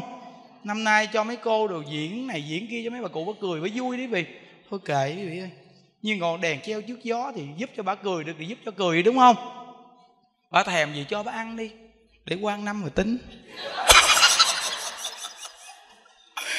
Từ nơi tội nghiệp ghê luôn. Bây giờ các cụ già trong chùa mình những đức rèn hơn 6 năm nay quý vị. Đúng là có tính nguyện. Ừ, có tính nguyện. Bây giờ mà nói bà nào chết xương phong. Con! Có đua tay quá trời luôn quý vị ơi. Trời ơi đúng là gàn tính nguyện. Vì bà biết đâu phải đưa tay là chết. Hiểu rồi thấy chưa? Nên cái tiêu chuẩn của người niệm phật giảng sanh là đừng sợ chết. Rèn không sợ chết. Rèn không sợ chết. Trời ơi đúng là niệm phật nó sống thọ lắm mấy vị ơi. Bệnh cùi củi niệm phật vậy đó. Bệnh bệnh niệm phật niệm phật à. Công nhận luôn trời. Lễ lọc mà mấy bà già bảy mấy tám chục tuổi bà làm việc kinh khủng luôn á. À, làm việc cả ngày đêm luôn á quý vị. Còn quý vị đi ra cái cái kho củi coi bà sắp củi kìa những đức nó người trẻ cũng chưa sắp được như mấy bà già mình. Sắp củi gì đâu mà nó nó khích khích khích khích khích khích, khích gì đó. Bảy mấy tám chục tuổi tám mấy tuổi. Lễ lộc là làm ngày đêm. Cắt bông giấy bỏ phân bò phải làm việc quá trời luôn. Mà ngày xưa đâu phải mạnh vậy đâu mà bây giờ mạnh vậy đó. Nên phải gầy dựng tính nguyện. Người nào mà không có tính nguyện là người đó yếu liền nói chứ. Trong chùa mình người nào mà không có tính nguyện là người yếu liền. Người nào có tính nguyện là khỏe lắm. Nó nên quý vị ngoài đời muốn khỏe đó phải tính nguyện nè tính nguyện mạnh lên. Là khỏe liền à. vì coi những đức phải hừng hực không? Thấy không? Hả? Ơi. Nó có tính nguyện nói chuyện bị nghe được rồi đúng không? Nói lúc nó nhẹ. Lúc nó nó hét lên. Chưa? Ồ, nói mà không ai ngủ được là được quý vị. Hồi nãy như đức gặp cái cô đó mắt hiu hiu nghe. Tưởng như đức nói một cái tự nhiên mới làm nè chưa? Tỉnh là quý vị rõ ràng luôn á. Nó nên bây giờ bị vị tỉnh veo. Nếu như mình niệm phật mà mình có một cái tâm là nếu như không được giảng sanh, thì chúng ta đời sau làm người hoặc sanh cõi giờ hoặc là nếu không được giảng sanh thì làm người tiếp tục tu nữa chỉ cần mình có một cái tâm gì thôi là mình thất bại rồi đó. À. chỉ cần là mình nghĩ rằng là nếu không giảng sanh thì cũng có thể được làm người, thì là mình thua. Nên ấn tổ này nói rằng là bạn chân thật niệm phật không được giảng sanh làm người có phước báo. Khi làm người có phước báo rồi thì bạn không tu hành nữa thì đời thứ hai của bạn, thời thứ ba của bạn nhất định đọa lạc. Và khi đọa lạc rồi thì nó trải vô lượng kiếp. Chúng ta không biết chừng nào gặp được phật pháp. Chứ không có đơn giản như mình nghĩ đâu. Thí dụ như đời này phải tính đời này nè. Chứ đừng có mà tính đời này tu không giảng sanh thì đời sau đầu thai làm người tu nữa đâu có đơn giản. Ừ. Nên trong kinh phật nói à, được thân người là khó, gặp phật pháp càng khó. Mà mình nói rằng à, nếu không được giảng sanh thì đời sau làm người tu nữa. Vậy thì nó phá vỡ hết cái tính nguyện niệm phật của mình. Ổn, thiệt là ổn. Đời này chúng ta sanh đến cõi ta bà thấy nó đã khổ gì à? Nếu như đời sau chúng ta làm người thì quý vị nghĩ nó khổ làm sao nữa. Nghĩa là chúng ta để ý hình như mỗi năm nó càng khổ nha chứ không phải mỗi năm nó càng vui. Nghĩa là kiếp nhân sinh con người hình như là mỗi năm nó càng khổ thêm một chút, đúng không? Quý vị coi sắp sửa tới tết này, năm nay nó khổ năm trước nó khổ là con người người ta hơi khổ năm trước, đúng không? Nhờ mình tu mình biết tu, nó còn nhẹ nhàng cái tâm mình. Sống trong cái khổ mà không bị buộc ràng thôi. Chứ quý vị sống ngoài đời thấy rõ ràng là năm nay nó khổ năm trước. Vậy thì quan năm của chừng nó khổ năm nay nữa, quý vị nghĩ, quý vị nghĩ như sao? Như năm nay dịch bệnh đồ quá trời luôn người ta. Lo sợ rồi bão tố tùm lum phải không? Vậy mà cái năm trước á, nó sướng hơn năm nay. Rồi biết đâu năm nay á đã khổ gì mà quan năm nó còn khổ hơn năm nay nữa rồi sao? Nên con người hình như nó càng ngày nó càng khổ thêm chứ không phải càng ngày càng sung sướng. Nên mình nói rằng là nếu bây giờ mà đời này mình không giảng sanh thì đời sau mình có thân người mình tu nữa. Bây giờ nó vật chất nó đã phát triển gì lòng người nó đã biến chất đến mức nào à? Không chi là càng về sau thì cái vật chất này nó phát triển đến cỡ nào nữa. Rồi quý vị coi, càng ngày càng cái vật chất phát triển, thì con người quý vị coi, tuổi trẻ, bận đồ đạc quý vị coi như nó không bận, đúng không? Thì bây giờ càng ngày về sau thì quý vị biết chắc nó cầm miếng vải nó che lại xong nó đi ngông ngông ngoài đường.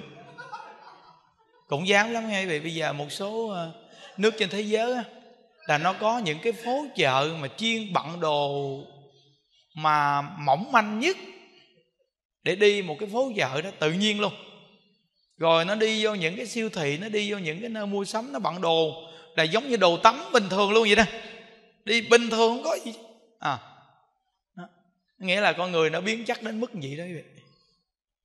nên từ nơi đó mà nó càng ngày nó càng tệ như vậy thì mình nói rằng là nếu đời này mình không giảng sanh, đời sau có thân người mình tu nữa đã bây giờ nó đã khó tu rồi. Mà càng về sau thì nó càng khó tu nữa. Con người nó càng ngày càng tệ mà. Nó cái sự trở ngại càng lớn thêm. Sự tu càng khó. Nên mình cố gắng làm sao mà nó gầy dựng cái tính nguyện mình cho nó kiên cố quý vị. Bây giờ đừng có nhìn ai hết, mà nhìn mình đi. Mình nhìn mỗi một người chúng ta gặp phật pháp nè. Mình nhìn mình đi, mình coi coi mình có cố gắng không? Nó chứ bây giờ mình đừng có mà tu được ba mới cái mình nhìn những người thân mình không tu. Giờ tôi muốn độ họ.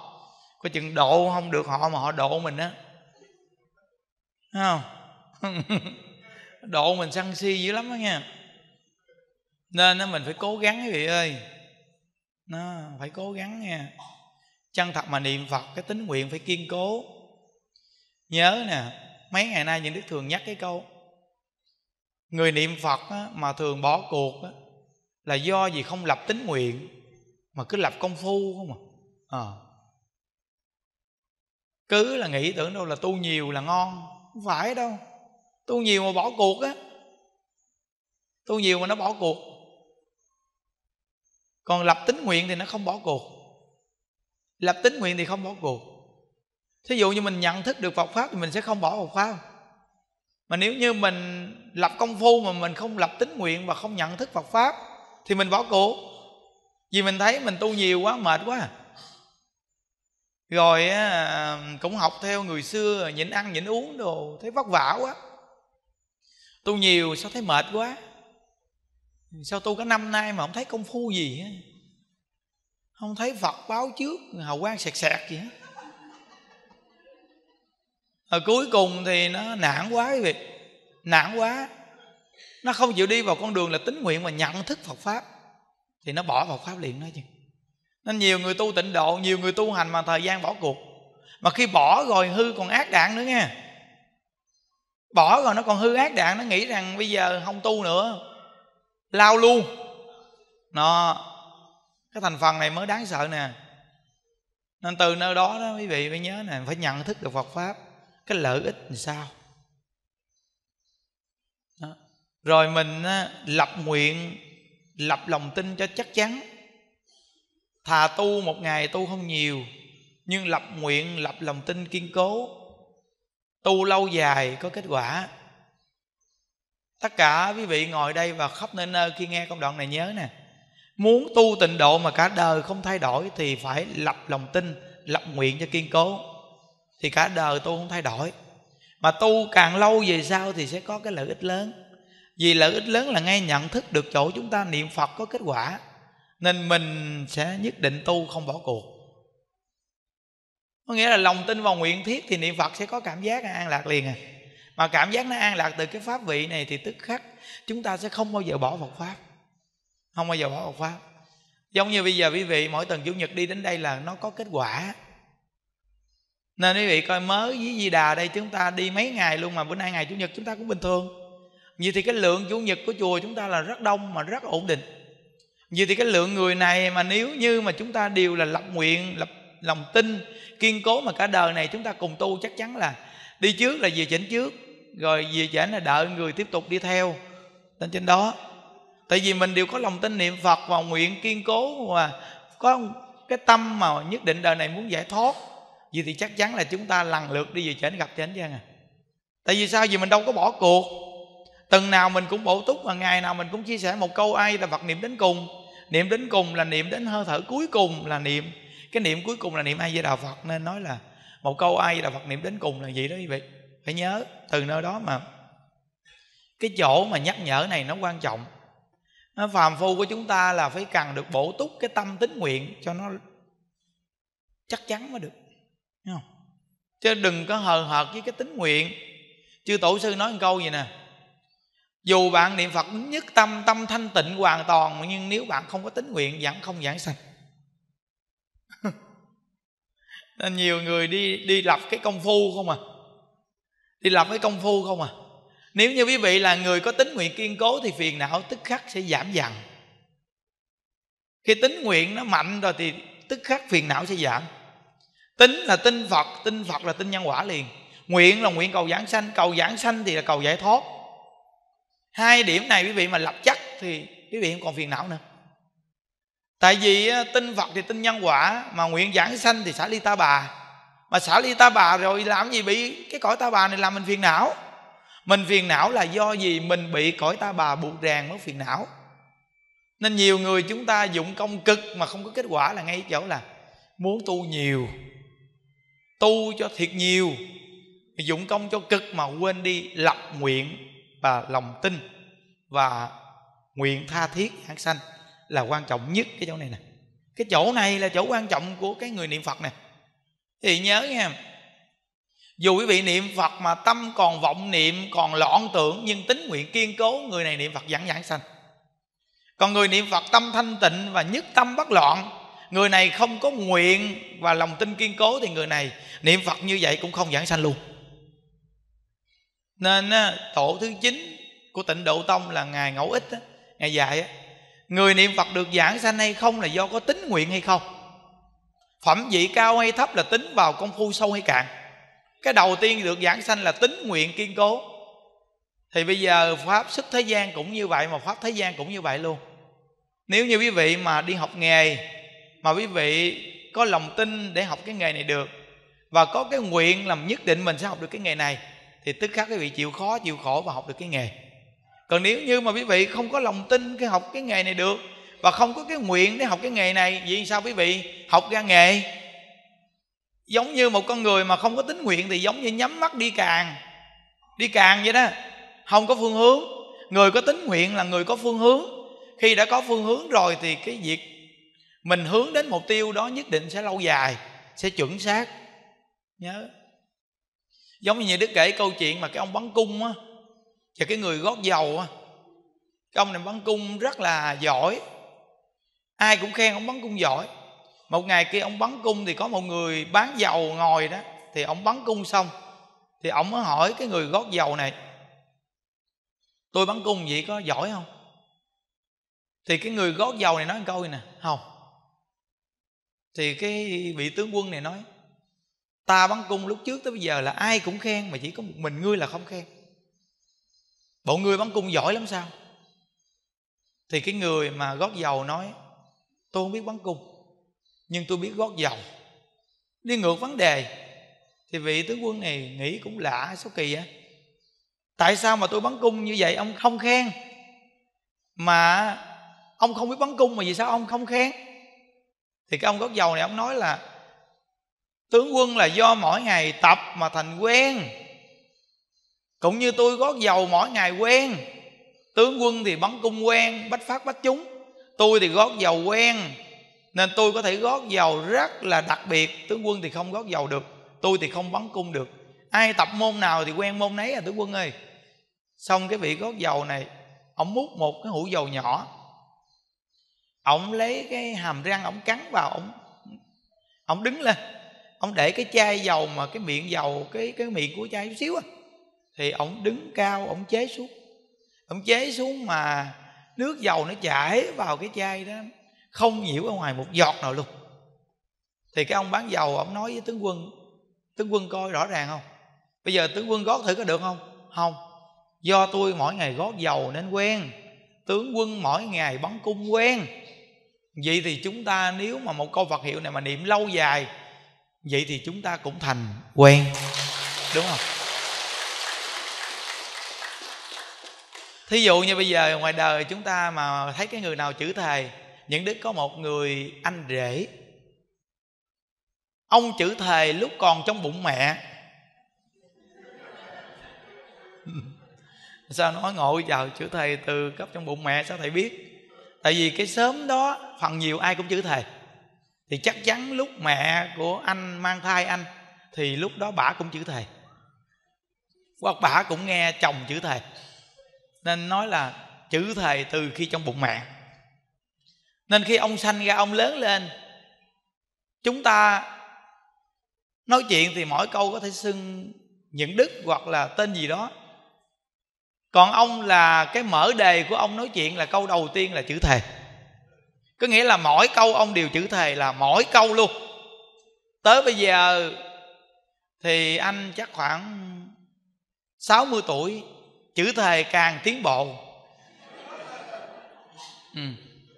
chữ thề đạt đến cái mức mà nhất tâm bất loạn luôn. Có nghĩa là câu nào cũng mở miệng ra, đầu tiên của nó là chữ thề trước một câu, rồi mới nói chuyện rồi trong lúc nói chuyện đó là chữ thầy liên tục, rồi cứ là bắt câu nói chuyện đều là chữ thầy liên tục liên tục liên tục. Nên bà chị những đức cứ hỏi, mỗi lần chỉ lên đây những đức nói, ủa sao ông dẫn cái người anh nó lên? Bà nói ổng lên đây ông chữ thầy um sùm hết trơn, coi sao mà được mà dẫn đi lên đây. Ông quen rồi, bây giờ ông chữ thầy suốt luôn vậy đó. Chửi hoài luôn á, con người không có hung ác gì. Nhưng mà có cái là cái miệng chữ thầy quen nên những đức nói, chữ thầy từ trong bụng mẹ. Rồi suốt mấy chục năm nay, ông thành nhất tâm bất loạn chữ thầy nếu như quý vị mà có thể niệm phật á, vài chục năm thì quý vị cũng nhất tâm bất loạn niệm phật, đúng không? Nếu như chúng ta hiểu được nguyên lý này thì quý vị sẽ chọn câu niệm phật để làm nhất tâm, chứ không chọn cái câu chữ thề nhất tâm, đúng không? Nó giống như cái ông kia gót dầu nhất tâm, ông kia bắn cung nhất tâm mỗi một cái thế gian này mà con người làm việc như sửa xe nhất tâm. Rồi cắt lúa nhất tâm, nhổ cỏ nhất tâm. Bất cứ một cái nghề nghiệp nào quý vị mà siêng năng thì nó thành lão luyện là nhất tâm. Nhưng mà tất cả những cái nhất tâm đó nó vẫn có cái tác dụng phụ của khổ đau. Chỉ có một cái nhất tâm, tính nguyện nhất tâm mà được giải thoát đó là tính nguyện niệm phật cầu sanh cực lạc nhất hướng chiên niệm. Một câu vật hiệu này để cầu sanh cực lạc là chắc chắn vậy thôi. À. hiểu được rồi nhất định sẽ tạo cái nhất tâm niệm phật à. Nên chúng ta đi được à, hơn 11 năm nay cố gắng tiếp tục. Những đức đi xuống dưới đây giờ hơn 6 năm. Chúng ta cứ thường phiên nhau niệm phật hoài vậy đó. Từng nào cũng đi đến đây phiên nhau niệm phật hoài vậy đó. Còn lúc nào quý vị không đi nữa thôi. Còn đi đến đây là nghe những đức phiên niệm phật à cứ phiên hoài vậy đó, nếu mà quý vị sống từ bây giờ cho đến cái ngày mà các cụ già ở đây mà chết á, thì từ bây giờ cho tới khi các cụ chết là cứ từng nào cũng đi đến đây và về nhà là cứ niệm phật. Thì chắc chắn là cuộc đời các cụ có kết quả lớn lắm. Tại vì phương hướng các cụ nó hướng đến một tiêu chuẩn lắm. Nhớ nha bây giờ ờ, quý vị coi nè. Mấy chục năm nay chúng ta lo cho gia đình, cho con, cho gia đình của mình. Nhưng quý vị coi tới tuổi già mà có những người chúng ta bây giờ lo vẫn chưa xong đến khi mà con có vợ, có chồng rồi mà có khi mình cũng bận tâm chưa xong nữa. Vậy chừng nào xong? Không có xong. Ở cái cõi đời này không có xong. Chừng nào quý vị mà thọ mạng đến bị chết, thì xong một đời đó. Mà xong một đời đó mà nó theo cái định nghiệp nào mạnh nhất thì nó quay lại. Tại vì còn trong lục đạo, định nghiệp nào mạnh nhất trong lục đạo thì nó quay lại thôi nên từ nơi đó suy nghĩ kỹ đi nghe. Gác chân lên chán suy nghĩ đi. À ngày giờ quyết dứt liền thôi dứt. Chờ đợi cho xong biết chừng nào xong. Dứt cái gì thầy? Dứt cái tâm mà dính mắt á. Còn đang sống ở cõi đời này thì không có đá đổ. Mỗi người thì diễn cái vai diễn của chính mình cho đúng đắn thôi. Nhưng trong tâm hãy dứt đi đều là diễn mà. Hiểu không? Diễn thôi. Quý vị coi đức thích ca mâu ni ngài một giây diễn chính đặc biệt không? Diễn đó. Diễn thương yêu, diễn lo lắng, diễn vì chúng sanh, nhưng không có dính cái gì chứ. Nhưng mà cái cảnh thì rất từ bi. Thấy không? Thì bây giờ mình tu mình cũng học vậy khả năng mình diễn kém thì mình diễn cũng được một phần nào chứ không phải kêu quý vị mà buông xả là đá đổ gia đình đá đổ chồng vợ không phải đâu nghe mỗi một nhân viên thì tự nhìn thấu mà tu. À, từ nơi đó làm tròn trách nhiệm mình đi. Rồi mình hiểu rằng cái cõi đời này nếu mình không thoát được lục đạo này thì tức khắc là mình cứ triền miên trong lục đạo khổ đau. Nhận thức được chỗ này rồi thì quý vị nên tự mà nhận thức con đường của mình đi. À, tự nhận thức con đường mình đi. Có những người già những đức gặp á họ nói một câu vậy nè chưa xong đâu thầy ơi. Chắc khoảng 3 năm nữa mới giải quyết xong. Những đức nói 3 năm nữa chồng trong năm mấy sau nó chết rồi sao? Chưa đâu thầy ơi. Thầy bói con coi, coi con 5 năm nữa mới chết. Thôi gì cũng được người ta có cái nguyện vậy mà. Kệ nó thôi đúng không? Chúng ta nên cố gắng mà niệm phật thôi đừng có nghĩ rằng hai, ba năm gì nữa mình chết, năm bảy năm, mười năm, hai chục năm gì, cái đó là mọi người không ai biết trước được đâu quý vị. À nên chúng ta sống ngày hôm nay, sống tốt ngày hôm nay đi. Nghĩ chi cái chuyện sao vời đáng chi cho nó nặng nề. Thật sự mà nói, người cư sĩ, người xuất gia gì cũng vậy. Có khi lao theo hoài mà cũng thấy không xong. Cắt cái chùa này thì muốn cắt cái chùa khác, cắt dãy nhà này, muốn cắt dãy nhà kia dọn sạch chỗ này thì muốn dọn chỗ nọ. Làm chỗ này rồi thấy chỗ kia chưa được làm thêm. Cứ làm vậy đến tám chín chục tuổi rồi vẫn thấy chưa xong. Thấy không? Thấy không xong? Không xong là gì? Cái cõi đời này mà muốn cho nó phải viên mãn. Trời ơi! Cái cõi đời là cõi khuyết mà làm sao viên mãn được quý vị? Không có một cái chỗ nào mà ở trong cái cõi đời này mà nó viên mãn được bây giờ quý vị nhìn mỗi một con người thôi thì quý vị cũng biết được rằng là nó không viên mãn. Cũng là cái lỗ mũi mà quý vị coi có cái lỗ mũi ai mà kích cỡ hoàn toàn bằng nhau mà giống hệt không? Cũng là cái lỗ mũi mà vậy đó. Ngộ thay cái hình thì nhìn nó giống nhưng mà thật sự kích cỡ, cao thấp lùn, to nhỏ bé thì khác, đúng không? Cũng là cặp mắt mà quý vị coi coi cặp mắt ai mà hoàn toàn cặp mắt nó giống nhau hết không? Không. Ngộ lắm, cũng là mắt hai mí, nhưng ngộ thay là mí lòi, mí lót. Thì coi kinh khủng không? Nó cũng là cái đầu. Vậy mà đầu to, đầu nhỏ, đầu bé, đầu lùn, đầu tròn, đầu méo. Đủ thứ loại đầu. Cũng là tóc. Nhưng tóc hoàn toàn là khác nhau tóc nhuyễn, tóc to, tóc cứng, tóc mềm, mịn, rồi tóc như đuôi ngựa, đuôi bò, đuôi trâu. Đủ thứ loại tóc hết quý vị coi đó. Cũng là cái dáng người mà cao lùn mập ốm, thấy chưa? Cũng là nước da nhưng mà quý vị coi. Đó. trong một gia đình cha mẹ sanh ra con, nhìn giống nhưng mà nó vẫn có cái điểm hoàn toàn khác, không phải hoàn toàn giống. Thấy không? Đã là hình tướng là như vậy rồi vậy thì cảnh viên làm sao viên mãn?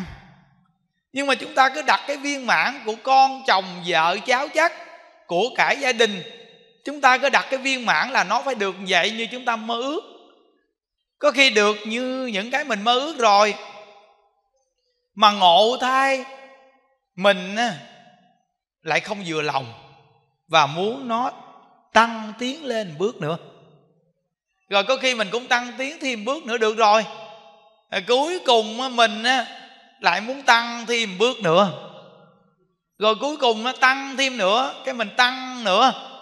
Tăng đến lúc mà mình già yếu, cái mình bước xuống không được, cái đứng ở trên té xuống, chết queo. Thấy chưa? Giống như lót đường cho mình leo lên mà không đi xuống được.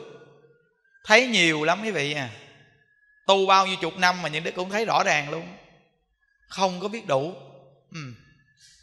tham thì cũng không biết đủ, mà vì người cũng không biết đủ.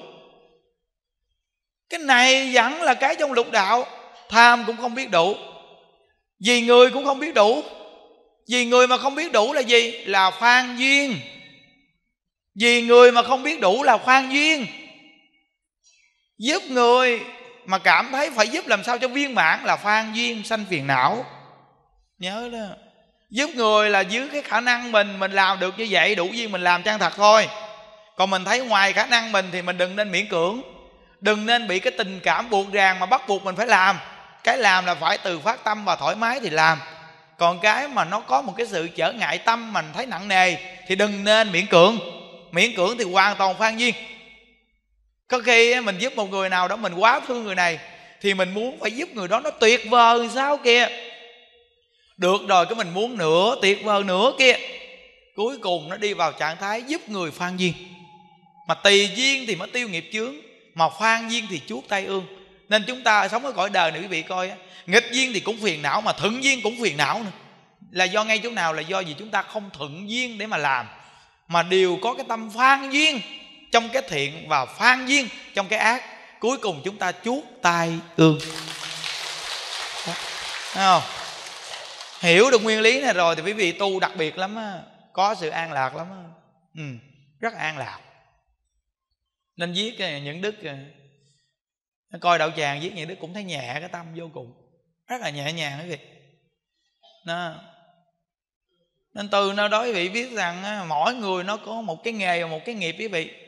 Ừ.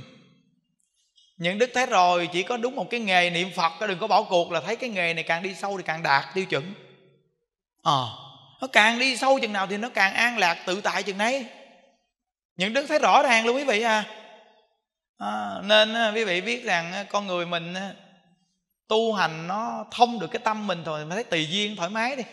Ai làm được thì cứ làm. Mình được cái duyên niệm phật thì mình cứ niệm phật vậy là quá tự tại đúng không quý vị. Nó nên mỗi một con người chúng ta phải nhớ phải nhận thức cái chỗ là mình cảm ơn cái người đã lo công việc cho mình để mình niệm phật nhưng cái người mà lo công việc mà không dụng công niệm phật thì nếu quý vị không phải là bồ tát thứ thật thì quý vị cũng tiêu.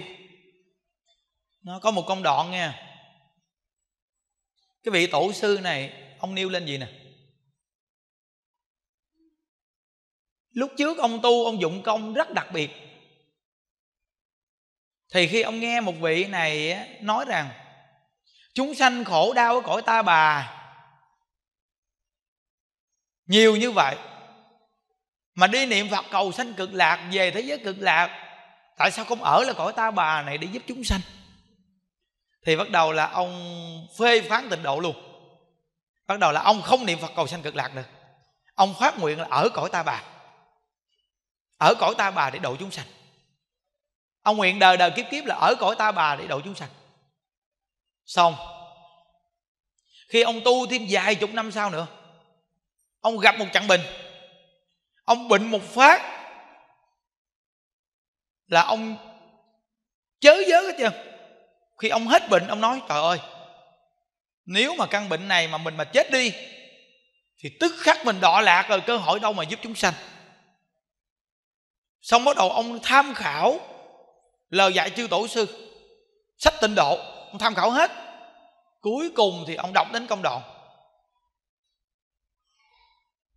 Nếu như muốn phát nguyện ở cõi ta bà để độ chúng sanh, thì bạn phải là bồ tát thật. Như cỡ hạn bồ tát quán thế âm, bồ tát đại thế chí. Bồ tát địa tạng thì bạn có thể phát nguyện ở cõi ta bà để độ chúng sanh vô lượng kiếp. Bạn hãy nhìn lại bạn bạn là ai mà phát cái nguyện này? Có tâm mà không có sức thì cũng bằng không thôi còn phật bồ tát, người ta có tâm, có sức, thì người ta phát nguyện ở cõi ta bà này cỡ nào cũng không sao. Vì vả vị người ta là vả vị giải thoát, vả vị trong thường tịch quan, tịnh độ. Còn mình vả vị, mình là vả vị trong lục đạo luân hồi, đang còn trong cái nhà sáu tầng. Dù có lên tầng thứ sáu đi chăng nữa, cuối cùng cũng chạy xuống tầng cuối cùng mà. Hiểu không? Mình không biết mình là ai sao? Mà muốn làm chuyện cao xa đó. À, nên hôm nay chúng ta học đến đây quý vị. Ai di đà phật. À, chắp tay hồi hướng. Nguyện à, đem à, công đức à, này hướng về khâm tất cả đệ tử và chúng sanh đồng à, sanh à, về tịnh à, độ. Ở chùa chúng ta mỗi tuần chủ nhật, từ chư tăng ni đến hà phật tử về đây rất là đông. Thêm một cái lớp nhỏ này cũng đông quý vị. Ừ. Gieo cái duyên từ khi còn nhỏ này lớn lên đặc biệt lắm. Đi chùa quen luôn. Ừ. Nên là nhiều cha mẹ nói các cháu từ khi đi đến chùa tới giờ khôn lanh mà học giỏi ngoan à, không ghiền game nữa biết niệm phật nữa chứ. Mà thấy cháu nào cũng dễ thương lắm nha thiện căn đặc biệt à, nên cái công đức niệm phật à, của nguyên một cái đại chúng đông gì mà mỗi tuần chúng ta được phóng sanh cũng đi thực nữa. Thì phần người sống được nhờ phần người mắc cũng được lợi quý vị. Nên những người mang nghiệp phá thai rồi quý vị về đây thì chư hương linh ta cũng được nghe Phật pháp được hưởng tài thọ thực à, có khi cái tâm người ta buông xuống cái tâm hận thù. Nên người ta phát tâm niệm Phật cầu sanh cực lạc đây là cái chỗ tốt đặc biệt nha. Nên là chúng ta nguyện đem công đức ờ, của toàn thể đại chúng. Nguyện cầu an trên là đại lão hòa thượng viện chủ và toàn thể đại chúng và gia quyến quý vị. À, luôn luôn có sức khỏe và đều phát bồ đề tâm kiên cố niệm phật để cầu sanh về thế giới tây phương cực lạc. Và những người ghi cầu an cầu siêu ở đây chúng ta cũng hồi hướng chung hết và chúng ta nguyện đem công đức này nguyện cầu siêu cho củ quyền thất tổ. Ông bà cha mẹ anh chị em trong nhiều đời, đời nhiều kiếp hay hương linh thai nhi vì nghiệp phá thai chiến sĩ trọng vong đồng bào tử nạn thập nhị loại cô hồn ngạo quỷ hà sa hữu vị vô danh hữu danh vô vị đều được thừa hưởng những công đức này đều phát bồ đề tâm niệm phật để cầu sanh về thế giới tây phương cực lạc. Nam mô chứng minh sư bồ tát ma tát như đặng phật tự chung à, ngã kim tý như cung à, từ thực biến tập phương, nhất thiết từ cộng nguyện dị thử công đức à, vô cập như nhật thiết, ngà đặng dự phật tự giai cộng thành phật đạo như đặng ngộ tình chung ngã kim tý như cung. Thập phương nhất thiết ngộ tình cộng Nguyện dị tự công đức à, vô cập mơ nhật tiệt. Ngà đặng dự hộ tình, Giai cộng thành Phật đạo như đặng Hồn chung ngã kim thi như cung.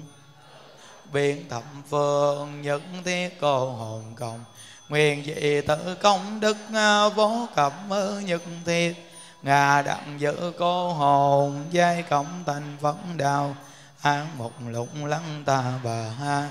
An một lục lăng ta bà ha. Ta bà ha. An ngã ngã nắng tam bà và vị nhật gia hồng. An ngã ngã nắng tam bà và vị nhật gia hồng. Tam bà và việt nhật ra hồng. Gia trì chú thực diệu giả đa biến thiệu thành đa giai bảo mạng. Nam mô sa sanh tam bồ tát, nam mô sa sanh tam bồ tát, nam mô sa sanh tam bồ tát ma tát. Gia trì chú thực diệu gia đa, biến thiệu thành đa giai bảo mạng. Nam mô sa sanh tam bồ tát, gia trì chú thực diệu gia đa, biến thiệu thành đa giai bảo mạng nam mô xá sanh tam bồ tát. Gia trì chú thực diệu gia đa. Biến thiệu thành đa giai bảo mạng. Nam mô xá sanh tam bồ tát. Nam mô xá sanh tam bồ tát. Nam mô xá sanh tam bồ tát ma tát. Cô hồn ơi, hương linh ơi, chiến sĩ chẳng vong động vào tử nạn ơi thập nhị loại cô hồn ơi ô vị vô danh hộ giác ô vị ơi, thai nhi vì nghiệp phá thai ơi, ở phương tây thế giới an lành, con nay xin phát nguyện vãng sanh. Từ bi tiếp độ nam mô tây phương cực lạc. Đại bi a di đà phật a di đà phật a di đà phật a di đà phật a di đà phật. A di đà phật a di đà phật a di đà phật a di đà phật a di đà phật. A di đà phật a di đà phật a di đà phật a di đà phật a di đà phật a di đà phật a di đà phật a di đà phật a di đà phật a di đà phật a di đà phật a di đà phật a di đà a di đà phật a di đà phật a di đà phật a di đà a di đà phật a di đà phật di đà phật a di đà a di đà phật di đà phật a di đà phật a di đà phật. À, nam mô tây phương cực lạc thế giới đệ tử đại bi. A di đà phật liên tòa thất đại chứng minh. Hôm nay đệ tử chúng con xuất gia cùng tại gia văn tập tại tổ đình hộ pháp. Pháp bồ đề tâm mua các loài chúng sanh này về phóng sanh à, nguyện cho các vị giải thoát thân súc sanh quy y tam bảo nhất tâm niệm phật cầu vãng sanh về thế giới cực lạc đức phật a di đà sớm mau thành phật. À, ở các loài chúng sanh ơi các vị đã tạo các vọng nghiệp. Từ đời vô thị kiếp đến nay do tăng miễn ý phát sanh ra che mờ chân tâm bản tính nên phải sanh tử luân hồi ra vào sông mê biển nghiệp. Đến hôm nay các vị có nhân duyên lành gặp Phật pháp được cho vị đồng tu mua các vị về để sám hối quy y và cùng với các vị niệm Phật A Di Đà để cầu vãng sanh về thế giới cực lạc à, hôm nay quý vị quy với Đức Phật A Di Đà được một pháp danh là Diệu Âm. Khi bản sanh về thế giới cực lạc à, đồng một danh hiệu là Diệu Âm Như Lai. À, chúng ta bỏ tịnh tài mua các loài chúng sanh này đó là tài thí. Khi sanh ra nơi nào chúng ta cũng có củ cải đầy đủ. Và chúng ta quy y niệm Phật những chúng sanh này nghe đó là pháp thí. Chúng ta sanh ra nơi nào cũng được trí tuệ và thông minh. Chúng ta thả những chúng sanh này bay đi đó là tu hạnh vô ý thí. Chúng ta sanh ra nơi nào cũng được sức khỏe và tuổi thọ kéo dài quy y phật không đọa địa ngục quy y pháp không đọa ngạ quỷ quy y âm không đọa bàn sanh quy y phật không đọa địa ngục quy y pháp không đọa ngạ quỷ quy y âm không đọa bàn sanh quy y phật không đọa địa ngục quy y pháp không đọa ngạ quỷ quy y tâm không đọa bàn sanh à, chúng ta đồng niệm phật vỗ tay thả chim nha. A di đà phật a di đà phật a di đà phật a di đà phật a di đà phật a di đà phật a di đà phật a di đà phật a di đà phật a di đà phật a di đà phật a di đà phật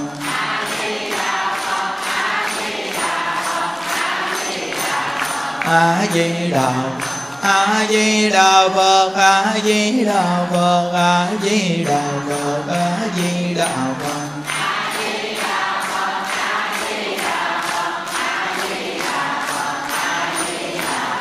a di đà phật a di đà phật a di đà phật a di đà phật a di đà phật a di đà phật a di đà phật a di đà phật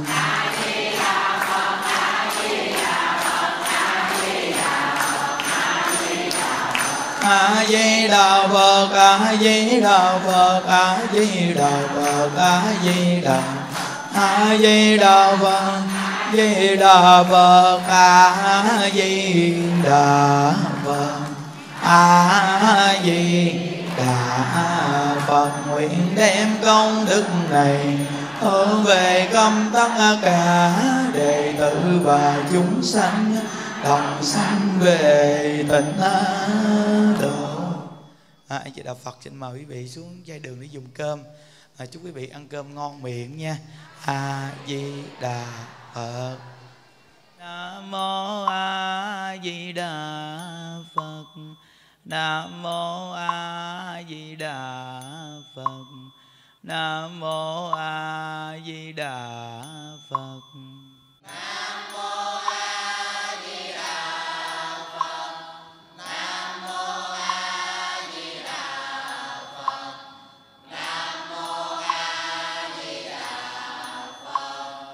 nam mô a di đà phật. Nam mô a di đà phật. Nam mô a di đà phật